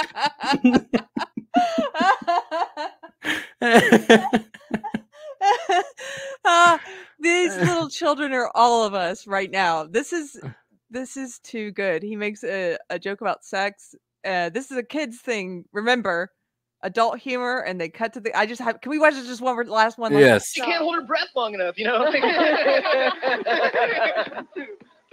Well, okay. Coming up, the turtles are going to perform their hit. Did you want to say something? I just wanted to say that Uh, the one thing, the one thing about the turtles being being an, a reporter, it's hard for me not to analyze. And the good thing about these guys, uh, that yes. kid. Fung, that kid is all of us. Oh my gosh. Surprised it's not a meme. That's gotta be a meme. Someone use that kid. Shell shocked kid. But it's Make it a meme. But I'm done. Shell. Okay, that was great. How are you going to top that? I don't know. Well, the, the next video, I'm now afraid to play because we kept getting popped. It's so the, this the the one I don't even know. Is it the He-Man one? No, it was the the Alex Jones one. It, it samples a uh, theme song from a cartoon, but they remixed him over the cartoon. So I don't, I don't. I'm afraid. Oh, we're going to get popped for this. I just pulled it Yeah. up. We can't play this. Yeah, well, it's Yeah. funny though. Maybe Mm. we'll have to do a Rumble exclusive sometime of all the content we can't play on YouTube. I'm to do a Rumble exclusive anyway. We should just do one and hang out there and be like, party. Okay, I'm putting the link in the chat. This is the one That, was. that'll allow us to play some music. 'cause I really want to do another music themed uh, one where we just play music, man. Yeah. And we can do that Rumble. for those who've uh, are new here, we did uh, Mystery Chris and I did a, couple episodes about music through the decades and got totally taken down from YouTube. It did eventually can come back like 10 months later, just randomly just pop back up. That's because every time they take one down, I have to go in and I file. I basically appeal it, say, "Hey, it's fair use. We're just sampling tiny clips," and then they take their sweet time, and sometimes it comes back. Mhm. Yeah. Okay, what else? Um, we can do either the Beavis one or we can do the He-Man one. We've played the He-Man one before, but The He-Man one is is so funny, but we've played it several times, and also with the music. I'm uh, afraid. Let's do the Be- the Legend of Beavis. okay, we do this one. We'll play about a minute of it. I queued it up at the time, so Now, this is from an episode of Beavis and Butthead. no. So somebody took a Legend of Zelda episode and dubbed Beavis and Butthead's lines on top of it. What? Okay. Yeah. Uh, what the hell are you doing here?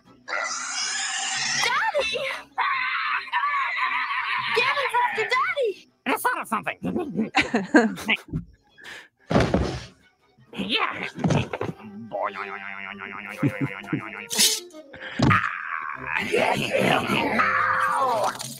Go for it, dude. Do it. Die! Ah, don't touch me, asswipe! Beavis, I'm a little disappointed in you.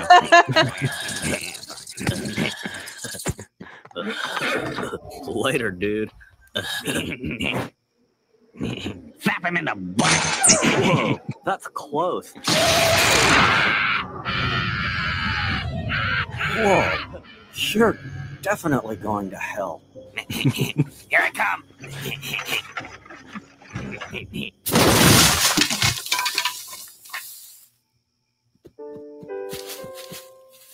Link, speak to me! booby booby. Ah,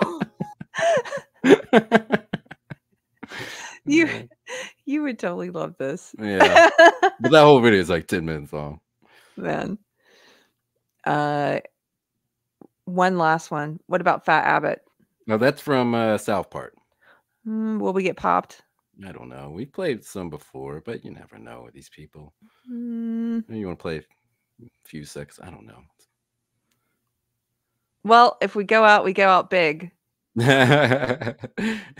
just play a little bit of it. You don't play the whole thing. It's like a minute. Aw, got some cursing in it, by the way. get my wedding ring out of the sink. Okay, okay. Hey, hey, hey, what's going on? Man, Fat Abbot, you need to lose weight. I lose weight when I feel like it, bitch. Shut your big mouth, oh. Yeah, I'll kick your ass. Whoa, dude, sweet. You think you slick, you punk ass blasphemous dope fiend bitch? I had my back seven times last week. I busted cop in your ass. Wow, cartoons are getting really dirty. oh, I love it. Classic South Park. Oh man. Okay. Thank you so much uh for finding these funny clips and Yeah. I hope people saw all of them as much as they could. Jeez. as much as you can. We'll have we'll have to start now that we're simulcasting on Rumble. Um we'll have to pick a couple that we do just maybe on Rumble if we know that we're gonna Mhm. sample a lot of stuff like tonight. Or like a start lot. on YouTube and then go to Rumble so we can Yeah. start playing stuff we can't play on YouTube. Exactly. It's a good idea. Uh, which, speaking of, if you are subscribed here, if you're a regular, if you like the show, uh, if you have a Rumble account, please go and subscribe to our Rumble channel because we might, we'll probably have to do that at some point in the future, do Rumble exclusives. And we want to build up the community there. Community fellowship, right? That's the Gary's like, Gary doesn't like the word community. I understand why. Um, let's see the channel there is here Yeah, which one? Make sure because some type in there's like multiple channels that come up. Sure you get the yeah this is why it was hard for me to figure out rumble getting on there D- Damaj and i helped me because you have an account which is a channel but then you have like your channel channel it was weird so this is it it's it's Deprogrammed with Keri Smith and the url is real Keri Smith which is the same here and ev- on youtube and instagram and twitter and everywhere else so real Keri Smith um and you can go and find it there I I really had fun hanging out with you tonight. Uh, Davina says follow both. Yeah, follow both. That way you'll see if I do anything on the personal one, I guess. Um, but uh, we'll see you guys there because we're, we're definitely going to do something that's just Rumble exclusive. If we do another music one, we have to because you can't. You can't do. I, I think it's sort of if we just show a couple clips, we're okay. But if if we're doing a really clip heavy episode like tonight, they always pop us. Yeah, it's So so weird because I've seen other YouTubers who've done like compilation videos. Like there's one YouTuber who did compilation of like all 80s intros. They're like he he has several videos that are hour long. They just have all these intros in them, and those videos have been up for years and have a million views each. It's like, yeah, well, why is ours getting popped and we, we only right, played, you know, maybe what, dozen cartoon intros? Right. Maybe less than that before we got popped, of course. Well, okay. Before the next episode, I'm gonna try and find my Charmkins toy so I can show you on air, Mystery Chris. Do it. It's somewhere in, you know, when we moved into this place, it's probably in a box, but I find sure that raccoon it, doesn't get it. Yeah. Also, you have to come you have to come to the antiquing with me because this one place just has a ton of Star Trek glasses from the 80s and uh tr- Star Trek trading cards and all kinds of stuff. I want you to come see it. So oh, definitely. I want to get a, uh whiskey glass with Starfleet logo on it. That'd be sweet. I if I see one, Romulan ale out of it. Wow. oh, if I see one, I'll pick it up for you. Okay, sweet. You guys, thanks for hanging out with us. This was a long one. Thanks for hanging out through our technical problems, getting popped by the the YouTube popo and power outages and all of it. We had so much fun. Bungalow Logic. This is a great show. As always, gonna split. Thanks, thanks, chat. Love y'all. You guys are the funniest chat. Have a good night. Have a good night, uh, Ryan. And um, I will see you. No, uh, so usually Fridays at one o'clock Central is the live kerfuffy break or deprogram show. I'm going to be traveling with my husband to a music fest uh, uh, for the Eclipse weekend, and I'm going to try and live stream. We'll see how it goes. I'll do an announcement if it's going to work out or not. If not, I'm going to have a pre-recorded video for you guys, but there will be something before the end of the week. Um, have a good night. Past your bedtime, Kevin. Ours too. Mystery Chris, as always, it's been fun. Hell yeah, it has. And thank you, chat. You guys are hilarious. Here we go.